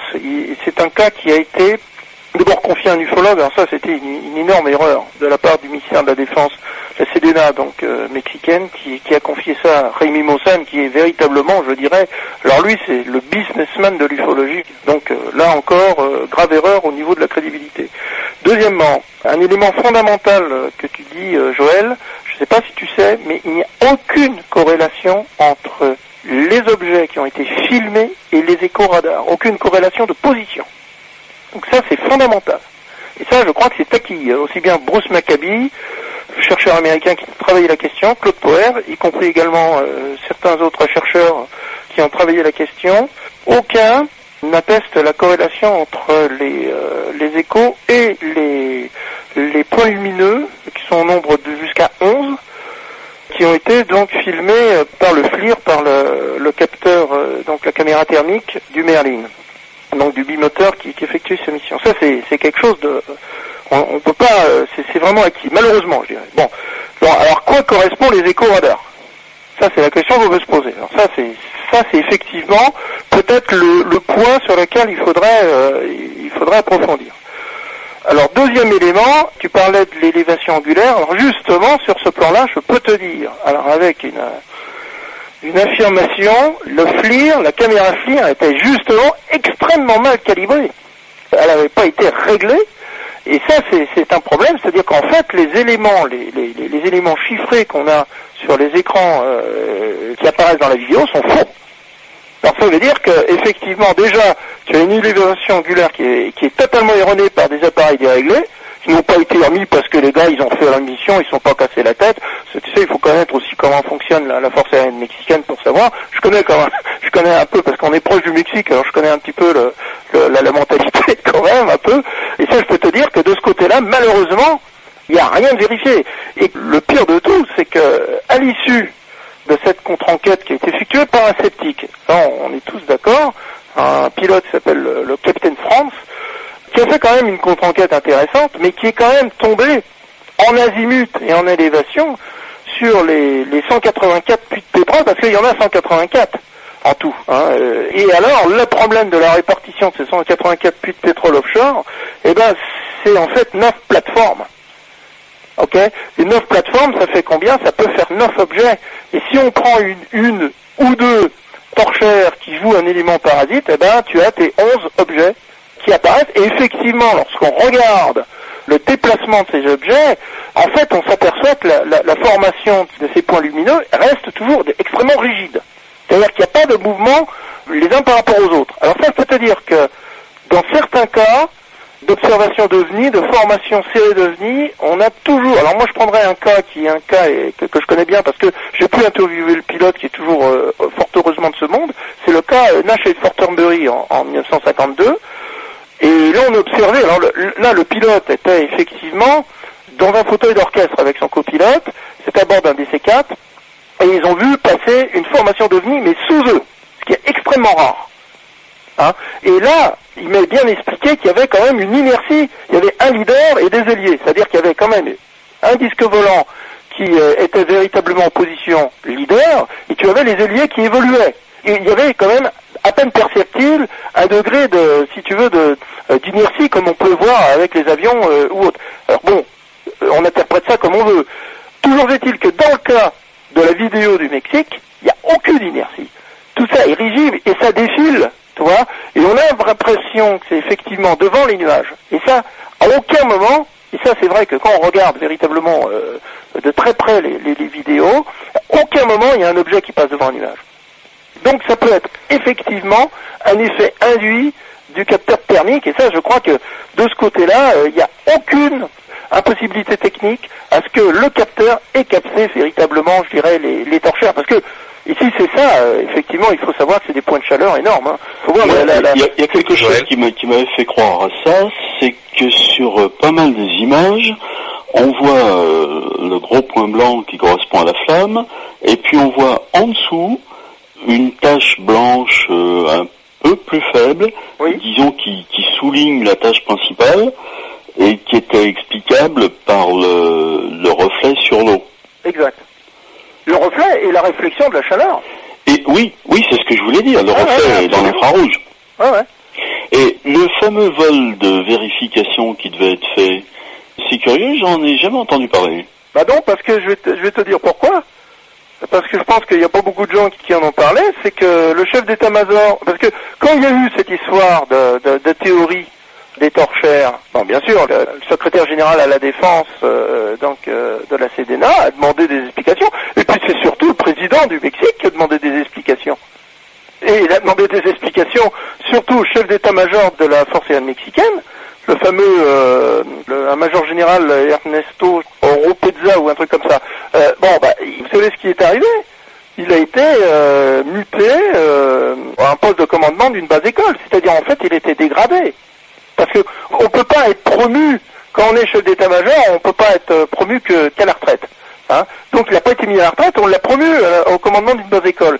C'est comme si on le dégradait. Hein C'est plus promu, c'est rétromu. Ah là, il a été rétrogradé, hein, euh, et pas tout seul. Hein. D'après ce que j'ai pu comprendre, il y a, y a aussi euh, un autre général qui a suivi le mouvement. Hein. Donc non, non, il y, a eu, y a eu des règlements de compte dans la force aérienne mexicaine. Donc cette affaire n'est pas complètement euh, anodine. Il y a eu des effets qui ne sont pas des effets induits de, la révélation de- des documents, mais qui sont des pratiquement, je dirais, un crime d'incompétence. On a dit, mais enfin, comment se fait-il que vous ne soyez pas capable, que vos membres de l'équipage ne soient pas capables de faire la différence entre des éco-parasites et puis des éco-réels Et c'est vrai que c'est fondamental. Parce qu'ils sont ridiculisés. Et il, faut, il faut être très clair. Si, si c'est véritablement des torchères, ils sont totalement ridiculisés.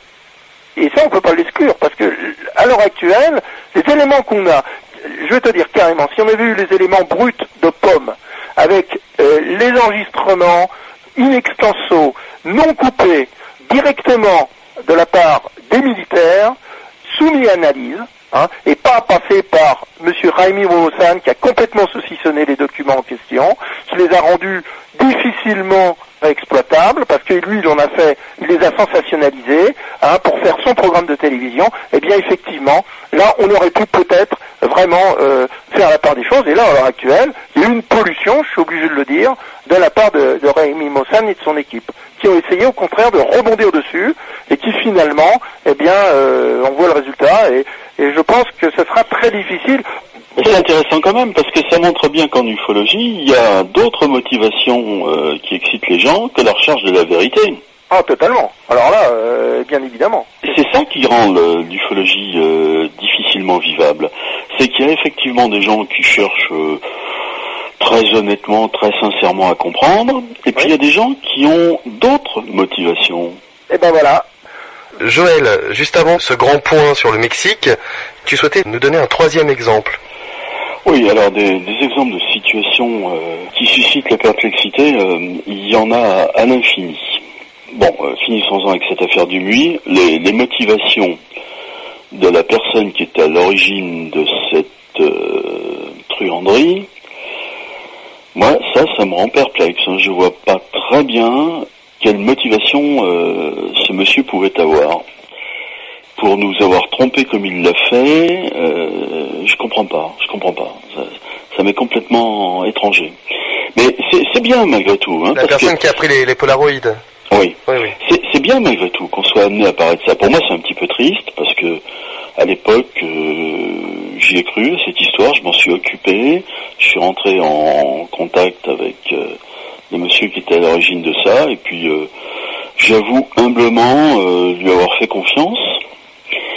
C'est bien vis-à-vis des, des auditeurs parce que peut-être ça va les décevoir, mais au moins ça leur dira la vérité. Hein. L'ufologie, c'est un domaine compliqué, très simple en apparence, très compliqué en fait, très pollué par une multitude d'intérêts euh, parfois obscurs. En fait, on parle d'ufologie au singulier, il faudra mieux en parler au pluriel. hein. Il y en a deux. Il y a la vraie, il y a la fausse. Exactement. Il y a une ufologie qui est sans prétention et qui consiste à essayer de comprendre quelque chose dans tout ça. Et puis il y a euh, tout cet océan de magouilles. euh, bon, alors il y a la sombre histoire euh, du Mexique dont on vient de parler longuement. Il y a cette histoire de fausse photo qui est en fait pas du tout un ovni, mais qui est extraite d'un film de science-fiction. On n'arrête pas d'être embêté par des histoires comme ça, par des tricheries, par des, des manœuvres. Hum. Il est difficile d'en sortir. La véritable ufologie, c'est celle qui consiste à éviter tous ces pièges-là. Et croyez-moi, c'est pas évident tous les jours. Alors, le troisième exemple dont je voulais te parler, mais on pourra en citer d'autres, c'est le suivant. Il y a un cas américain, malheureusement très connu, je dis malheureusement, vous allez voir pourquoi. Ça s'est produit à Huffman, c'est au Texas, en 1980. C'est le 29 décembre 80. Très simplement, il y a deux dames, mesdames euh, Cash et Landrum, qui circulent en voiture le soir, il fait nuit. Le fils de l'une d'elles, âgé de 7 ans, je crois, est présent également dans la voiture. Et puis ces dames voient tout à coup un formidable ovni euh, devant elles, au-dessus de la route. Cet ovni est accompagné d'un très grand nombre d'hélicoptères qu'elle voit bien malgré l'obscurité. La conductrice arrête la voiture, il y a une chaleur euh, torride, Euh, finalement le, phénomène euh, finit par disparaître. Et puis les trois passagers de la voiture, mais surtout celle qui a passé le plus grand nombre de secondes en dehors de la voiture, ressentent des effets physiques euh, terribles et à la suite de cet événement, euh, leur vie va devenir un véritable cauchemar parce qu'elles souffrent de maux euh, divers dont elles ne guérissent pas au fil des ans. Et on s'aperçoit très vite que les maux dont elles souffrent sont ceux que provoque une exposition à certaines radiations. On suppose même, étant donné la présence des hélicoptères à proximité de cet ovni, c'est curieux hein, de voir quelque chose qui, qui a priori est un ovni, quoi. C'est quelque chose qui est dans le ciel, qui a une drôle de forme et qu'on ne sait pas reconnaître, escorté par des hélicoptères. hein. Alors ça suggère évidemment tout un tas d'explications, ça lance les personnes qui essaient de comprendre à quoi on a affaire sur euh, quantité de, de pistes, euh, toutes plus fausses difficiles à prouver les unes que les autres. Il y a des gens, par exemple, à qui ça suggère une complicité des autorités avec euh, des visiteurs venus de je ne sais où, puisque ces hélicoptères escortent la chose. Bon, toujours est-il que ces deux dames souffrent terriblement. Madame Cash, qui est décédée il y a trois ou quatre ans peut-être, sa vie a été un véritable enfer à la suite de cette observation, à cause des maux dont elle a souffert. Hein. C'est un petit peu comme euh, si elle avait été euh, exposée à, des radiations euh, très fortes. Bon, son ami a souffert beaucoup également. Dans cette histoire, il y a un détail extrêmement curieux. On s'est aperçu que sur les lieux de l'observation, il y a un panneau de signalisation routière qui est planté sur le, sur le bord de la route. Alors ce panneau, je peux vous le décrire brièvement, vous prenez un carré. Ce carré, vous mettez ses côtés inclinés à 45 degrés. Hein. Sur ce carré, il y a écrit slippery when wet, hein. ça veut dire euh, chaussée glissante quand c'est humide. Et puis en dessous, il y a un autre carré, mais lui avec les côtés horizontaux et verticaux, qui indique une limitation de vitesse à 45 miles par heure. Or, ces deux dames, Madame Cash et Madame Landrum, ont aidé les enquêteurs à faire une représentation de ce qu'elles avaient vu. Sur leurs indications, les enquêteurs qui ont fait un très très bon travail à l'époque, dans les années 80, on a ça dans un vieux numéro de la revue du MUFON. Donc ces enquêteurs ont dessiné, ils ont même peint à la gouache euh, un dessin qui représente ce que les dames ont vu. Or, ce que les dames ont vu, ça ressemble d'une façon frappante au panneau de signalisation routière qui est planté sur le bord de la route. Tout à l'heure, je vous parlais des deux observations d'Arbouan et de Poitiers qui se ressemblent de façon frappante au point qu'on se dit il y a corrélation mutuelle. Et puis après, on s'aperçoit qu'il y a un détail qui fait qu'il y a un des deux cas qui est quand même difficilement crédible. Et bien là, on est dans une situation de ce type-là. Alors, c'est difficile à concevoir, hein, parce que les, gens imaginent que les ovnis, c'est simple, c'est des extraterrestres qui viennent, qui débarquent, qui font des trucs en douce, on va se planquer dans les fourrés, on va observer ça, on va, on va étudier le phénomène de façon statistique, on va essayer de faire des mesures, etc., on va comprendre. Et ça nous échappe toujours. Il y a toujours un degré de complexité qui intervient au moment où on s'y attend moins. Alors là, on est dans une situation qui paraît idiote, hein, bah, qui est idiote. Ces dames voient quelque chose dans le ciel, elles en tombent très gravement malades, leur vie devient pour chacune d'elles un enfer par la suite. Pour le petit jeune homme, c'est un peu moins grave. Peut-être parce qu'il s'est planqué derrière les sièges de la voiture, je ne sais pas exactement. Et on s'aperçoit que par ailleurs, il y a euh, ce panneau de signalisation routière qui ressemble de façon frappante à l'OVNI décrit. Qu'est-ce que ça veut dire tout ça Alors il y a des gens, il y a toujours des gens bizarrement intentionnés sur Terre, il y a des gens qui ont interprété ça, euh, je ne veux pas citer les sources parce que je ne veux pas être inutilement désagréable, enfin c'est honteux ce qui a été écrit euh, il y a une vingtaine d'années en France à ce sujet-là. Il y a quelqu'un qui a écrit que les dames, mesdames Cash et Landrum, étaient euh, toutes deux plus ou moins à l'âge de la ménopause.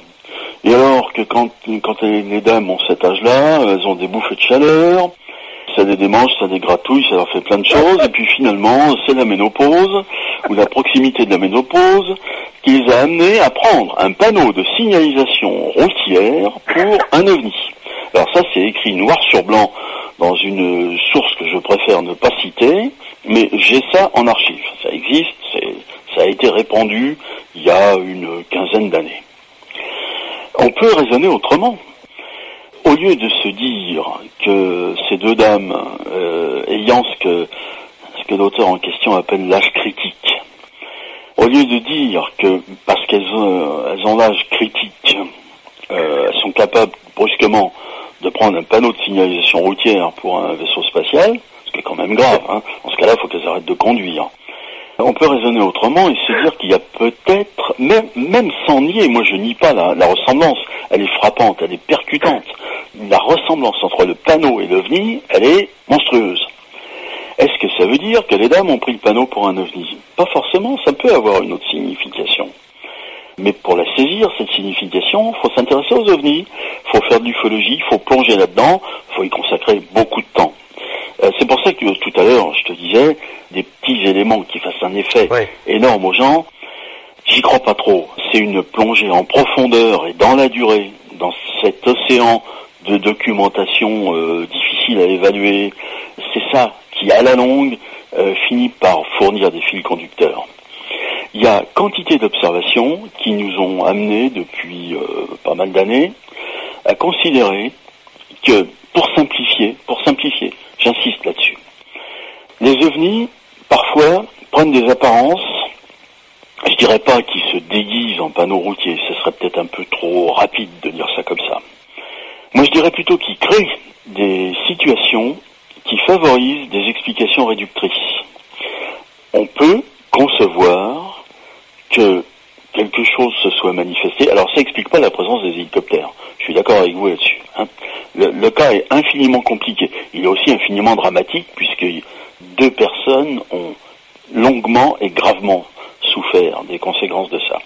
Mais on est dans une situation où on peut concevoir que le phénomène s'est manifesté de manière à, à favoriser une explication réductrice, à savoir, oh, bah le revenu, c'était le, panneau de signalisation routière euh, éclairé par les phares de la voiture. Bon, je peux pas prouver que c'est faux, mais enfin on peut quand même en douter. Et puis on peut surtout douter que l'âge des dames soit l'élément euh, déclencheur de la confusion. Voilà, c'est ça l'ufologie. Alors, je ne veux pas là vous amener à une conclusion particulière, j'en ai pas. Hein. Je vous dis simplement, l'ufologie c'est ça. Si vous imaginez que c'est quelque chose de simple, que les ovnis c'est des gentils extraterrestres, enfin gentils, ou- gentils ou pas gentils, mais des extraterrestres qui débarquent et puis qui font leurs petits trucs en douce dans leur coin, il y a un peu de ça, d'accord. Très souvent, ça ressemble à ça, surtout par le passé. Ça a beaucoup ressemblé à ça par le passé, notamment en 54. Mais c'est fondamentalement quelque chose de beaucoup plus complexe, de beaucoup plus tordu que ça. C'est quelque chose qui nous suggère des explications qui ne tiennent pas. Moi, l'explication de la ménopause pour le cas de Hoffman, je suis désolé, j'avalerai jamais ça. On peut prendre la chose pas à l'envers, pas dans le sens inverse, mais on peut le prendre différemment en y voyant un exemple de plus de ce que on a appelé le mimétisme des ovnis, c'est-à-dire que ils prennent des apparences de manière à imiter euh, des éléments du paysage. Ça encore, c'est peut-être trop précis. Moi, je dirais plutôt, ils se manifestent de manière à susciter des confusions, des confusions multiples ou, ou à susciter des explications réductrices. En l'espèce, là, il y a ce panneau de signalisation routière, bête comme tout, et qui est là pour fournir une explication idiote à cette observation, en fin de compte, extrêmement complexe à cause Mhm. des hélicoptères et dramatique à cause de ce qu'ont vécu les dames. C'est quelque chose à quoi on on peut pas trouver de solution simple, et il y a toujours des petits malins pour proposer des explications simples à base de panneaux routiers, de ménopause et tout ce que vous voudrez. En tout cas, tu as, tu as bien fait rire euh, Bernard, euh, Joël. Euh, Bernard, est-ce que tu suis la, la ligne de pensée de Joël? Ah, totalement, mais euh, moi je me délecte euh, toujours des explications de Joël parce qu'il a une façon particulière qui est absolument fabuleuse. Les- moi, les- moi les j'écouterai auditeurs- pendant des heures, hein, franchement. Moi, moi, je, pense, je pense aux auditeurs d'ici et maintenant, et je me dis qu'ils doivent avoir énormément de mal à imaginer, s'ils connaissent pas d'avance euh, l'histoire de Hoffman, ils doivent avoir beaucoup de mal à comprendre cette histoire, parce que c'est complètement, c'est invraisemblable. Elle n'est Euh, pas invraisemblable. Elle n'est pas du tout elle est invraisemblable. d'une complexité énorme. Mais elle est tellement énorme justement que... Bon, d'abord, il existe un, un très bon livre qui est sorti là-dessus, d'ailleurs par euh, William Schlosser, hein, qui est le, le patron actuel du. Oui. C'est lui euh, qui a sorti un, un opuscule sur euh, qui est très pas mal, qui, qui est bien fichu, hein, sur l'affaire euh, Cash Lando. Mais effectivement, le, le problème, c'est de savoir combien il y avait d'hélicoptères. Déjà, le nombre d'hélicoptères euh, qui est annoncé par les témoins est ahurissant. Colossal. Je veux dire, oui, c'est pas normal. L'OVNI, risquait pas de s'échapper, là, avec Ah non, non, mais de toute façon, c'est impossible. De toute façon, on était de nuit, et je peux te dire que le vol en formation d'hélicoptère de nuit, même pour les militaires, c'est très restrictif, hein, parce que c'est d'abord parce que c'est dangereux. De, en plus, il s'agirait là de Chinook. Ouais, tu sais, quand tu connais le Chinook, euh, c'est un birotor euh, lourd, euh, c'est, les hélicoptères qu'on voit souvent euh, à l'heure actuelle en Irak. Bon, c'est quand même pas des, petites bêtes, donc c'est pas des appareils véritablement d'escorte. Je crois que c'est. Bon, moi je pense qu'il y en a eu. euh, S'il y avait des hélicoptères, il y en avait un ou deux, et puis c'était tout. Parce que on peut pas gérer une formation comme ça de nuit. C'est extrêmement difficile, ou alors c'est une opération commando, et encore que les opérations commando ne s'effectuent pas en, formation, ce qui est extrêmement dangereux, mais au contraire euh, en unité dispersée pour éviter justement d'être flingué. hein. Donc en- en- effectivement, l'affaire Cachandome est intéressante, mais ce qui est d'autant plus intéressant, et là euh, Joël, tu seras d'accord avec moi, c'est la date. Or, la date du 29 décembre 80, c'est exactement la même date que l'affaire de Rank de Zam. Oui, Et ça s'est passé le même jour. oui. Et ça, c'est quand même bizarre. Et c'est pas du tout au même endroit. Et c'est pas au même endroit, mais par contre, si tu rapproches les formes des ovnis observés, bah c'est pas aussi éloigné que ça. Hein. Oui. Moi, ce qui m'a- beaucoup frappé, c'est cette ressemblance que je trouve réelle et profonde avec le panneau de signalisation routière. J'avoue Oui, ça me trouble. Oui, mais le problème, c'est que si tu veux, le descriptif en losange de, l'appareil qui avait été observé par les, les- deux femmes euh, et, le gamin, bon, il y avait quand même des hublots sur les côtés, hein, d'où s'échappaient quand même des rayons de lumière, et puis il y avait surtout cette espèce de tuyère en dessous. Hein.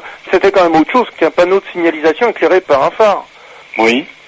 Moi, je trouve la ressemblance frappante. Bon, on est face à des situations auxquelles on comprend rien, qui facilitent des explications stupides et même odieuses, comme celle que je vous ai donnée tout à l'heure, là, à propos de l'âge critique de ces deux dames. On est dans des situations, à mon avis, euh, très complexes, euh, difficiles à apprécier. Il faut peut-être pas chercher midi à 14 heures. On a parlé de la vague de 54, on a parlé de... Mais, moi, tout ça me fait penser, si on prend un certain recul, tu admettras avec moi, on dirait quand même quelque part que c'est une mise à l'épreuve. C'est un test. De voir comment on va réagir par rapport à une situation donnée. Eh ben, j'ai bien peur que l'espèce humaine l'ait l'ait raté, le test, là, parce que les, réactions, elles sont pas brillantes, hein. Alors, ac- accueillons notre premier auditeur. Guillaume, t'es avec nous? Euh, oui.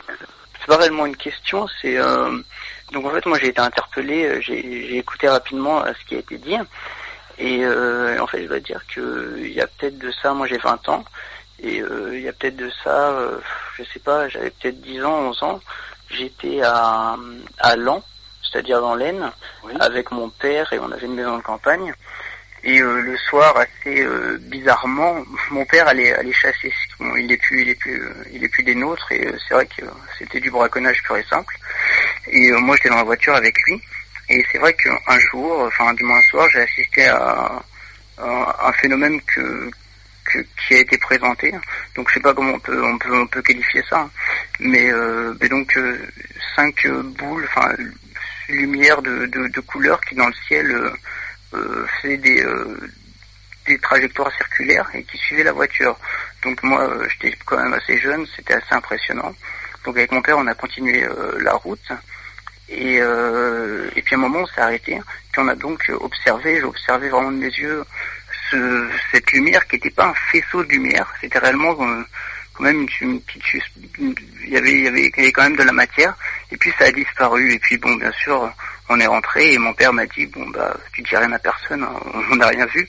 Et moi, bien sûr, je me suis empressé en rentrant chez moi de faire, oh, on a vu des ovnis ou on a vu je sais pas quoi. Puis tout le monde nous a rayonné et puis euh, euh, j'ai maintenant 20 ans, il m'arrive de raconter encore cette histoire et, et cette anecdote et d'avoir entendu la manière dont Joël présentait ça, que ça s'est représenté par d'autres gens, à peu près le même principe, ça m'a interpellé quoi. Donc, euh, donc voilà, c'était plus pour, euh, pour lancer cet appel. Si- S'il est possible d'avoir une description euh, précise de, de ces boules, enfin de, de cet événement, la date, les lieux, etc. si c'est possible, ça peut être très intéressant. Mais est-ce que vous pouvez nous dire la, la couleur de ces boules? C'était c'était blanc, c'était une lumière blanche. Un blanc très blanc ou un blanc un peu bleuté? Pour moi, c'était un blanc très blanc. Maintenant, euh, Non, je vous demande ça parce que euh, les histoires de boules euh, multiples qui, qui dansent dans le ciel, ça fait évidemment penser à, à l'effet produit par un sky tracker sur une couche nuageuse assez, basse. Vous n'avez pas vu de faisceau venant du sol? Non, non, non, c'est-à-dire que c'était. C'est ça, ça tout le truc. C'était pas, euh, c'était quand même quelque chose qui, qui se baladait dans le ciel. C'était pas, euh, c'était pas un faisceau de lumière comme un faisceau de discothèque ou, autre. Ça avait, euh, comme je dis, une consistance. Vous savez, il y a eu un certain nombre de cas, enfin un certain nombre, quelques dizaines, dans les années 90, disons,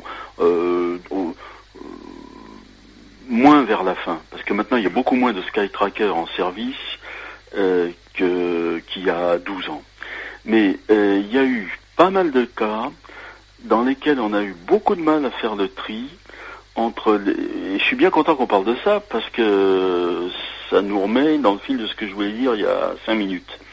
Mhm. Euh, il était extrêmement difficile dans certains cas de faire le tri entre euh, les Sky Trackers, enfin l'effet produit par les Sky sur une couche nuageuse, hein, et puis euh, autre chose. Alors il y a eu des cas d'une complexité là aussi infernale. Dans l'Oise, du côté de euh, Songeon, il y a deux personnes, je me souviens très bien, monsieur et madame Cassado, qui ont vécu un véritable enfer, qui ont été ou qui se sont crus, je ne sais pas. Moi, j'aurais plutôt tendance à croire qu'elles ont été poursuivies en voiture une nuit par un grand nombre de taches lumineuses qui tournaient en rond au-dessus de leur voiture. Monsieur Cassano était extrêmement paniqué, sa femme aussi. Sa femme priait à haute voix pendant que son mari conduisait à toute vitesse. Et sa femme lui disait euh, ralentis, ralentis, parce qu'on va aller dans le, dans le champ à côté, et puis euh, on sera mort, et les gens diront que tu étais sous. Euh, il y avait une panique intense. Ces gens affirment que ces lumières éclairaient le, l'herbe, le, bas-côté de la route, ce qui peut pas, effet qui peut pas être produit euh, par euh, par un Skytracker. Hein. Ça, j'en ai vu de près. J'ai un ami qui en euh, qui en a exploité jusqu'à 33 simultanément, qui en a fait marcher dans mon jardin quand j'habitais en Seine-et-Marne. les Sky, je connais un petit peu. Ça n'illumine pas le, paysage autour de vous. Ça produit des taches sur le sur le ciel. Alors, il y a eu des tas de confusions. Là aussi, moi je crois, je le dis franchement, quitte à passer pour euh, quelqu'un qui a une imagination fertile, mais je signale que la documentation elle est disponible. Moi je crois qu'il y a eu des choses qui ont imité des Skytrackers dans un certain nombre de cas, comme par exemple au nord de Béziers, où euh, une jeune femme voit quelque chose qui au départ peut être les tâches produites par un Sky multifaisceau, et puis ça se rapproche, ça se rapproche, ça se rapproche, et ça devient des taches de lumière qui tournent sur le capot de sa R5. Alors là, il y a quand même un problème, d'autant plus que cette enquête a été faite euh, très correctement euh, par quelqu'un qui avait l'habitude, qui a une longue expérience de, des enquêtes en ufologie, euh, s'il dit que la, la, jeune fille affirme que ce qui était au départ comme un Sky est devenu des ronds de lumière sur le capot lui-même, pas au-dessus, sur le capot. C'est fou. Et il y a d'autres cas comme ça, comme un cas dans le midi avec euh, près d'une exploitation de tabac où un, monsieur qui était dehors pour aller faire son travail en pleine nuit a vu euh, quelque chose qui par certains côtés ressemble à des skies, mais qui d'autre part euh, avec une description qui fait que ça pouvait pas être ça. C'est pourquoi je vous demandais ça. Si vous avez des précisions, moi ça m'intéresse. Hein. C'est vrai que si on peut se, se, rencontrer ou si vous pouvez me contacter. Euh... Mais euh, enfin, je peux pas euh, dire réellement ce que c'était. Enfin là, j'en parle aujourd'hui, j'en aurais pas parlé dans le sens. Où, vous, vous avez ressenti ça comme étant quoi Quelque chose d'incompréhensible? Non. Alors déjà dans dans la manière, faut savoir qu'on était en voiture, mon père euh, chassait donc les lapins sur le côté, donc il y avait des champs, et donc on a fait peut-être 200 mètres en voiture avec cette lumière, donc qui, qui, enfin ces lumières qui nous ont suivis de l'ordre de 4 ou 5. Qui vous ont et, il y avait presque une communication gestuelle dans le sens où ou sur l'allée et venue, puisque mon père a fait un demi-tour pour revenir sur nos pas. Au moment on s'est arrêté et ça s'est stagné au-dessus de nous et puis ça a disparu comme c'est venu. Puis bon, on est rentré quoi. Donc euh, oui, Joël te demandait si tu avais la, certitude d'avoir eu l'impression que vous aviez été suivi. Ah oui, oui. Euh, ça, euh, même puisque quand on s'est arrêté, les lumières ont stagné au-dessus de nous. Donc ça c'est sûr. Parce que là, il faut être très prudent, parce que vous savez, les gens qui sont, qui se disent sceptiques, mais qui en fait ne veulent pas entendre parler d'OVNI, euh, vous diront qu'on peut, il y a, c'est bien connu, on peut avoir l'illusion d'être euh, suivi par la Lune. Il y a des cas de ça euh, assez bien attestés. Hein. C'est divisé en 4 ou 5 boules Ah non, non, mais je dis pas... Non, non, je pense... non, non, je parle pas... non, pas dans votre cas, s'il y en avait 4 ou 5, évidemment. Mais euh, un... qui sait, après tout, si euh, les, les tâches produites par un sky multifaisceau sur une couche nuageuse ne pourraient pas euh, Oui, bien produire... du- sûr. Je- Donc vous écartez cette hypothèse? Non, non, mais en fait, j'écarte aucune hypothèse. C'est vrai que là, j'ai entendu l'émission et, et c'est vrai que ça ressemblait sensiblement à ce que j'ai vu. Et voilà, pourtant, je suis pas, je suis pas un fervent des, ov- des ovnis ou autres. C'est vrai que je peux pas nier ce que j'ai vu. Et, euh, et puis voilà, ça, ça fait de ça longtemps. Et puis, bon, bah, c'est vrai que ça m'a interpellé avant de me coucher en entendant ça. Je me suis dit que peut-être mon, Mais vous pensez pas que ce soit un sky? Bah, je, je, je ne sais pas. Je pense que ça, ça fait, euh, maintenant longtemps. Et, euh, Est-ce qu'il y avait, pense est-ce pas. qu'il y avait une boîte de nuit dans le coin ou un... Non, non, j'y- on y a pensé. On a même pensé au cimetière, au faux follet. On a pensé Mm. à tout. Enfin, mon père a pensé à tout, du moins. Moi, j'ai. euh, après, il m'en a jamais reparlé. Et puis, euh, moi, j'en ai reparlé un petit peu aux autres. Mais c'est vrai qu'on est passé un peu pour. Euh, surtout, j'étais jeune et euh, je me suis un peu emballé là-dessus. Donc, euh, Ouais, c'est assez compréhensible en même temps. hein. Oui. Oui. Bah, Guillaume, merci pour ton témoignage. Voilà. Je, tu vas rester hors antenne et Erwan va te donner le numéro de Joël. Ok, d'accord. Comme ça, tu pourras l'appeler si tu le désires. D'accord. Merci. Au revoir. Au revoir, Au revoir. Guillaume. Euh, nous allons conclure dans, dans quelques instants cette émission. Euh, donc, euh, je vous demande, euh, Joël et Bernard, pardon, j'étais en train de faire des manipulations. Euh, Joël et Bernard, ce, dont nous n'avons pas traité euh, ce soir, les sujets que nous avons oubliés, que vous souhaitez mettre en avant. Alors, Joël, par rapport au, prochain numéro, peut-être de Lumière dans la nuit, ou par rapport à, l'actuel, le 374, et, et Bernard, par rapport à ce que tu vois de différent en étant aux États-Unis. Commençons par Bernard. Bah écoute, c'est différent. Bon, bon, d'abord d'une manière générale, les ovnis c'est pas tabou. Hein, c'est quelque chose de, au contraire, euh, qu'on voit tous les jours. Je dirais, il n'y a pas un programme de télévision, on n'en parle pas. C'est-à-dire, on a une chaîne. euh, moi, je suis étonné. hein, je veux dire, tout- tout- tous les tous les soirs, il y a une émission sur les ovnis euh, sur History Channel.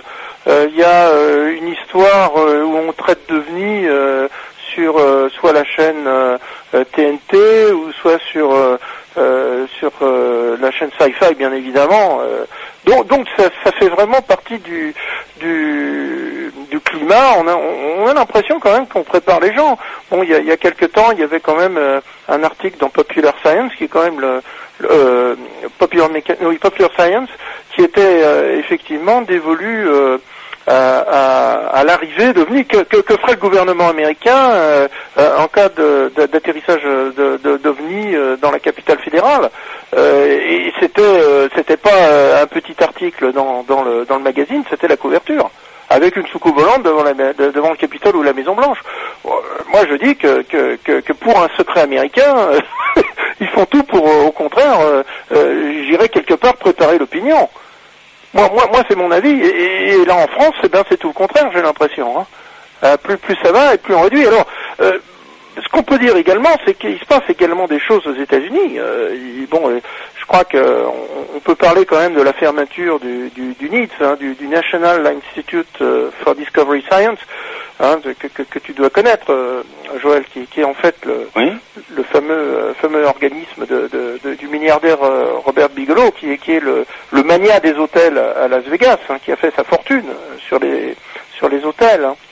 Donc effectivement, euh, quelqu'un qui a toujours été euh, intéressé euh, par les ovnis et qui avait donc fondé une institut, et une institut avec euh, des pointures en matière euh, matière scientifique. Il y avait comme Keller, qui est quand même un chercheur reconnu, qui est d'ailleurs re- revenu à la recherche maintenant. Il y avait Colonel John Alexander, un ancien de la recherche dans l'US Army. Il y avait Jack Valley. Il y avait, enfin, il y avait des, pointures dans cet institut, puis euh, ils ont terminé. Là, ils ont, euh, ils ont décidé d'arrêter euh, leur activité. Le réseau officiel, c'est manque d'activité, manque d'observation d'OVNI. Bon, je pense qu'il faut, il faut relativiser. C'est pas tellement ça.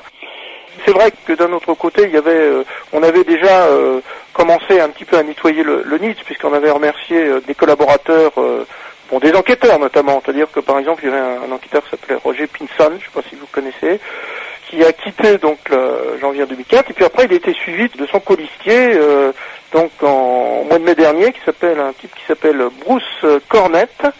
Et ce type est- était effectivement avec Roger Pinson, deux, les deux enquêteurs principaux. Alors effectivement, sans possibilité d'enquête, on peut pas faire grand-chose. Donc il n'y en avait plus que Colm Keller, en gros, une secrétaire, et puis c'est tout. Donc on était presque arrivé à la situation du CEPRA, quoi, je dirais prat- pratiquement. Et effectivement, bon bah Colm Keller, je pense, a, a dû dire, bon moi je vais arrêter aussi. Je pense pas qu'il y ait une raison gouvernementale là-dessus, mais par contre il y a une bonne raison pour euh, Robert Bigelow. Parce que figurez-vous qu'à l'heure actuelle, il y a quand même ce qu'on appelle le démarrage de la commercialisation de l'espace, qui a été euh, inauguré par euh, l'équipe de Bart Rutan, à mon avis, avec euh, le fameux X-Prize, hein, avec le Spaceship One, qui a quand même, je dirais, épaté quand même tout le monde. hein. Je crois qu'il faut, il faut quand même le reconnaître. Donc on a ça, et puis Robert Bigelow qui lui également est maintenant a véritablement donné une puissance à la recherche spatiale et notamment à la, la fabrication de modules pour une station spatiale. Des modules, mais alors je tiens à vous dire, c'est des modules gigantesques par rapport à la station euh, ISS actuelle. C'est des modules euh, qui ont la particularité d'être gonflables et puis euh, dont certains fait à peu près euh, 330 mètres cubes. Donc c'est quand même énorme. Hein. Et là, c'est un petit peu le passage, je dirais, à l'industrialisation de l'espace. Il est évident, là je, je suis dehors, mais il est évident qu'on ne peut pas à la fois maintenir un laboratoire consacré à la recherche, entre autres, des ovnis, et puis euh, travailler pour euh, des tâches, je dirais, euh, telles que l'industrialisation de l'espace, et, je pense qu'ils ont tranché sur ce fait-là. Maintenant, ils ont laissé entendre que le NIT, qui était basé à Las Vegas, donc serait réactivé s'il y avait effectivement des cas. Mais bon, je pense que quelque part, c'est une raison beaucoup plus diplomatique qui a fait que que- qu'on a fermé les portes du NIT, tout simplement. D'accord. Joël Ménard, des sujets euh, que nous aurions euh, oublié de, de traiter ou que nous n'aurions pas mis en avant lors de Oh, cette ben- émission. Si tu voulais encore mettre en avant une, une information comme on l'a fait pour la vague de 54 ou pour Mexico, Oh, il y aurait tellement de choses à dire qu'il est difficile de choisir. Peut-être euh, si j'avais pu euh, euh, développer euh, autre chose, j'aurais lancé un petit appel, euh, sans me faire trop d'illusions. Quand on en possession, ça arrive parfois, de photos très curieuses ou de vidéos très curieuses.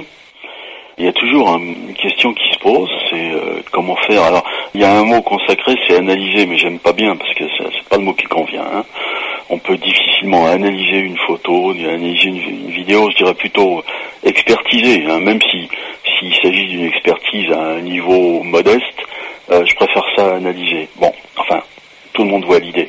Si vous avez euh, une photo qui montre un ovni ou une vidéo qui montre un ovni, il y a toujours euh, la possibilité de confusion. hein. Si c'est en plein jour, on peut toujours se demander si c'est pas un oiseau qui est passé devant l'objectif ou un insecte ou une, euh, cochonnerie quelconque collée sur la pellicule. Bon, si c'est une vidéo, il y a d'autres explications banales envisageables.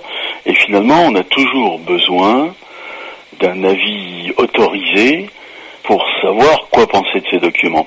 Là, la, question vient de se poser euh, très concrètement ces derniers temps. Moi-même, j'ai fait une photo, je l'ai pas fait exprès, au mois de juin. Je euh, fais beaucoup de photos de paysages, notamment de nuages. Et un certain jour du mois de juin, je ne sais pas à quelle date, parce que quand je photographie des nuages, je note pas la date euh, sur un petit carnet. Je fais mes, je fais mes photos, puis euh, après je les fais développer comme tout le monde. Mais au tirage, euh, j'ai eu une photo de nuages faite ici même. Je suis dans la Vienne. Pas une photo, mais deux photos sur la même bande, avec des choses curieuses, comme des, des objets apparemment solides et sombres, euh, tout à fait inattendus. La même aventure est arrivée le 2 septembre à Georges Metz, dans le Val d'Oise. Et le 17 septembre, il y a un monsieur qui a eu la, même expérience à Albertville, en Savoie. Alors, euh, la, la photo d'Albertville est remarquable. hein. Les trois fois, les circonstances euh, sont les mêmes.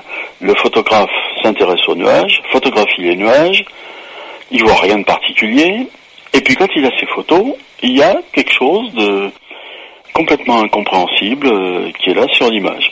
Euh, le cas d'Albertville est remarquable, euh, celui de, de Georges Metz à Mériel aussi est très beau parce que là il y a deux objets euh, qui ont l'air de, de voler en formation. Ça fait penser à, inévitablement à deux objets euh, en forme de soucoupe qui voleraient euh, parallèlement, euh, pas très loin l'un de l'autre, euh, qui apparaissent grisâtres sur le sur les nuages du un peu avant le coucher du soleil. Bon, quand on a des documents comme ça, on aimerait bien pouvoir les confier à quelqu'un qui puisse euh, émettre un avis sur ce qui a été effectivement photographié ou filmé. Je dis ou filmé parce que il y a eu un film, enfin il y a eu une vidéo assez formidable à mon avis, euh, qui a été prise dans le nord de la France le 14 octobre 2003. Euh, je m'en suis occupé récemment. Il y a de belles images. Euh, moi je les ai photographiées sur un écran de télé. J'ai photographié euh, des, des arrêts sur image de la vidéo sur un écran de télé. Les ufologues, tout au moins ceux- qui essaient de comprendre le phénomène ovni, ils ont un petit problème là, hein. ils savent pas à qui confier leurs documents. Ils ont plus de mauvaises expériences que de bonnes dans ce domaine-là et on est obligé de faire appel à la bonne volonté de, photographes. Euh, Il y, y a des photographes professionnels ufologues, heureusement, ça existe. Mais si on pouvait avoir un niveau d'expertise plus élevé, ce serait intéressant. Si euh, quelqu'un qui dispose des moyens euh, nous écoute et si ça l'intéresse, il faut qu'il sache qu'il y a des documents qui ne demandent qu'à être, euh, disons, examinés. Malheureusement, je crois que les gens qui disposent du savoir-faire et de la technologie pour ça ne s'intéressent pas au problème et que ceux qui s'intéressent au problème n'ont ni, ni les moyens matériels ni les compétences requises. Alors l'appel est, est lancé, Joël. Euh, je pense qu'on peut. Oui, tu peux répondre et euh, on en profitera après pour donner les coordonnées de Joël Ménard euh, qui permettent à la fois de s'abonner à Lumière dans la nuit et aussi pourquoi pas à répondre à ton annonce. Oui, euh, Bernard. Bon, il y a deux personnes qui, à mon avis, en France, sont capables d'analyser, de véritablement aller au fond des choses avec des documents. Bon, c'est tout bien, bien sûr François Louange de, de ADS Fleximage qui, qui dispose non seulement des outils pour vraiment analyser des documents vidéo et photographiques, mais vraiment il a, euh, c'est le mec plus ultra au niveau de la- de l'analyse. Et puis une autre personne, parce que effectivement ADS, euh, bon, c'est militaire, euh, c'est on, on connaît l'affiliation donc de, de Fleximage euh, au, au CNES et au CEPRA, donc effectivement on peut. Mais on a également une autre solution, c'est le laboratoire d'André Marion euh, au CNRS, qui, qui se trouve à l'Institut optique d'Orsay, qui dépend de l'université Paris Sud. C'est pas un institut militaire, donc on n'a pas euh, on n'a pas de risque là euh, à se faire subtiliser les documents. Ils ont effectivement les moyens. euh, bah, le, le simple exemple, c'est la photo du petit Rochin dont l'original, ce qui est pas peu dire, a été quand même confié à, André Marion. Moi, l'original, je l'ai vu, je l'ai eu dans les mains, et je peux vous dire que il n'y a eu aucun problème pour analyser ce document, et je pense que le professeur Marion sera tout à fait euh, ouvert à, à analyser tel document. hein. Donc voilà pour euh, ces deux informations. Joël, euh, pour s'abonner à Lumière dans la nuit et pour répondre à ton annonce, pour avoir aussi d'autres voix, euh, on doit écrire où? On fait comment? Il y a une véritable carence, hein, je, je retiens euh, l'information donnée par Bernard, oui. mais il y a, il y a une carence qui se manifeste euh, de temps en temps, et c'est bien gênant. Alors, euh, pour s'abonner à Lumière dans la nuit, euh, il s'agit de l'abonnement pour 6 numéros. Il faut envoyer un chèque de 44 euros à LDLN, boîte postale 3, 86 800, Saint-Julien-Lard. Saint-Julien, l'apostrophe A-R-S. Code postal 86 800. Il y a aussi un site internet qui est ldln.net. www.ldln.net. Et donc sur ce site internet, il y a un mail euh, qui permet de, de correspondre avec toi, j'imagine? Qui permet de correspondre avec moi, mais j'ai quelque chose d'horrible à vous avouer, c'est que je suis un piètre internaute et que je suis en train d'apprendre à me servir de cette chose. Mais pour l'instant, Je suis piège. encore loin d'être opérationnel. Mais ça va venir, ça va venir. Très bien, merci beaucoup euh, Joël Ménard. Rappelons donc que le prochain Lumière dans la nuit, il sort euh, aux alentours du 20 novembre. Oui, Ce sera le numéro 375. Euh, le 374, on en a parlé aujourd'hui. Et euh, on a parlé aussi de, de l'AVEC de 54. Euh, merci donc Joël Ménard. Merci Bernard Toinel. Bernard, donc auteur de différents livres sur l'aviation, sur les objets volants non identifiés. C'est le nom de ce livre. aussi parce que je m'occupe aussi un petit peu d'aviation quand même. hein, parce que Mhm. Je travaille euh, pour le magazine Infopilote également. Donc euh, on a beaucoup de travail actuellement. Et pour l'année prochaine, ben, on espère. euh, de toute façon, il n'y aura aucun problème. On sera reconduit pour euh, pour les, les ovnis et le paranormal. Ça, ça fait aucun doute. On a on a fait encore euh, pas mal de bonnes ventes. Donc euh, ben, on m'a demandé de continuer. Donc c'est tout ça de bon augure. Et puis on parlera des DLN également euh, dans, dans notre rubrique. hein. Il n'y a aucun problème. Alors euh, en route pour de nouvelles aventures. Merci à vous deux. Merci à vous. Au revoir. bonsoir. Au revoir.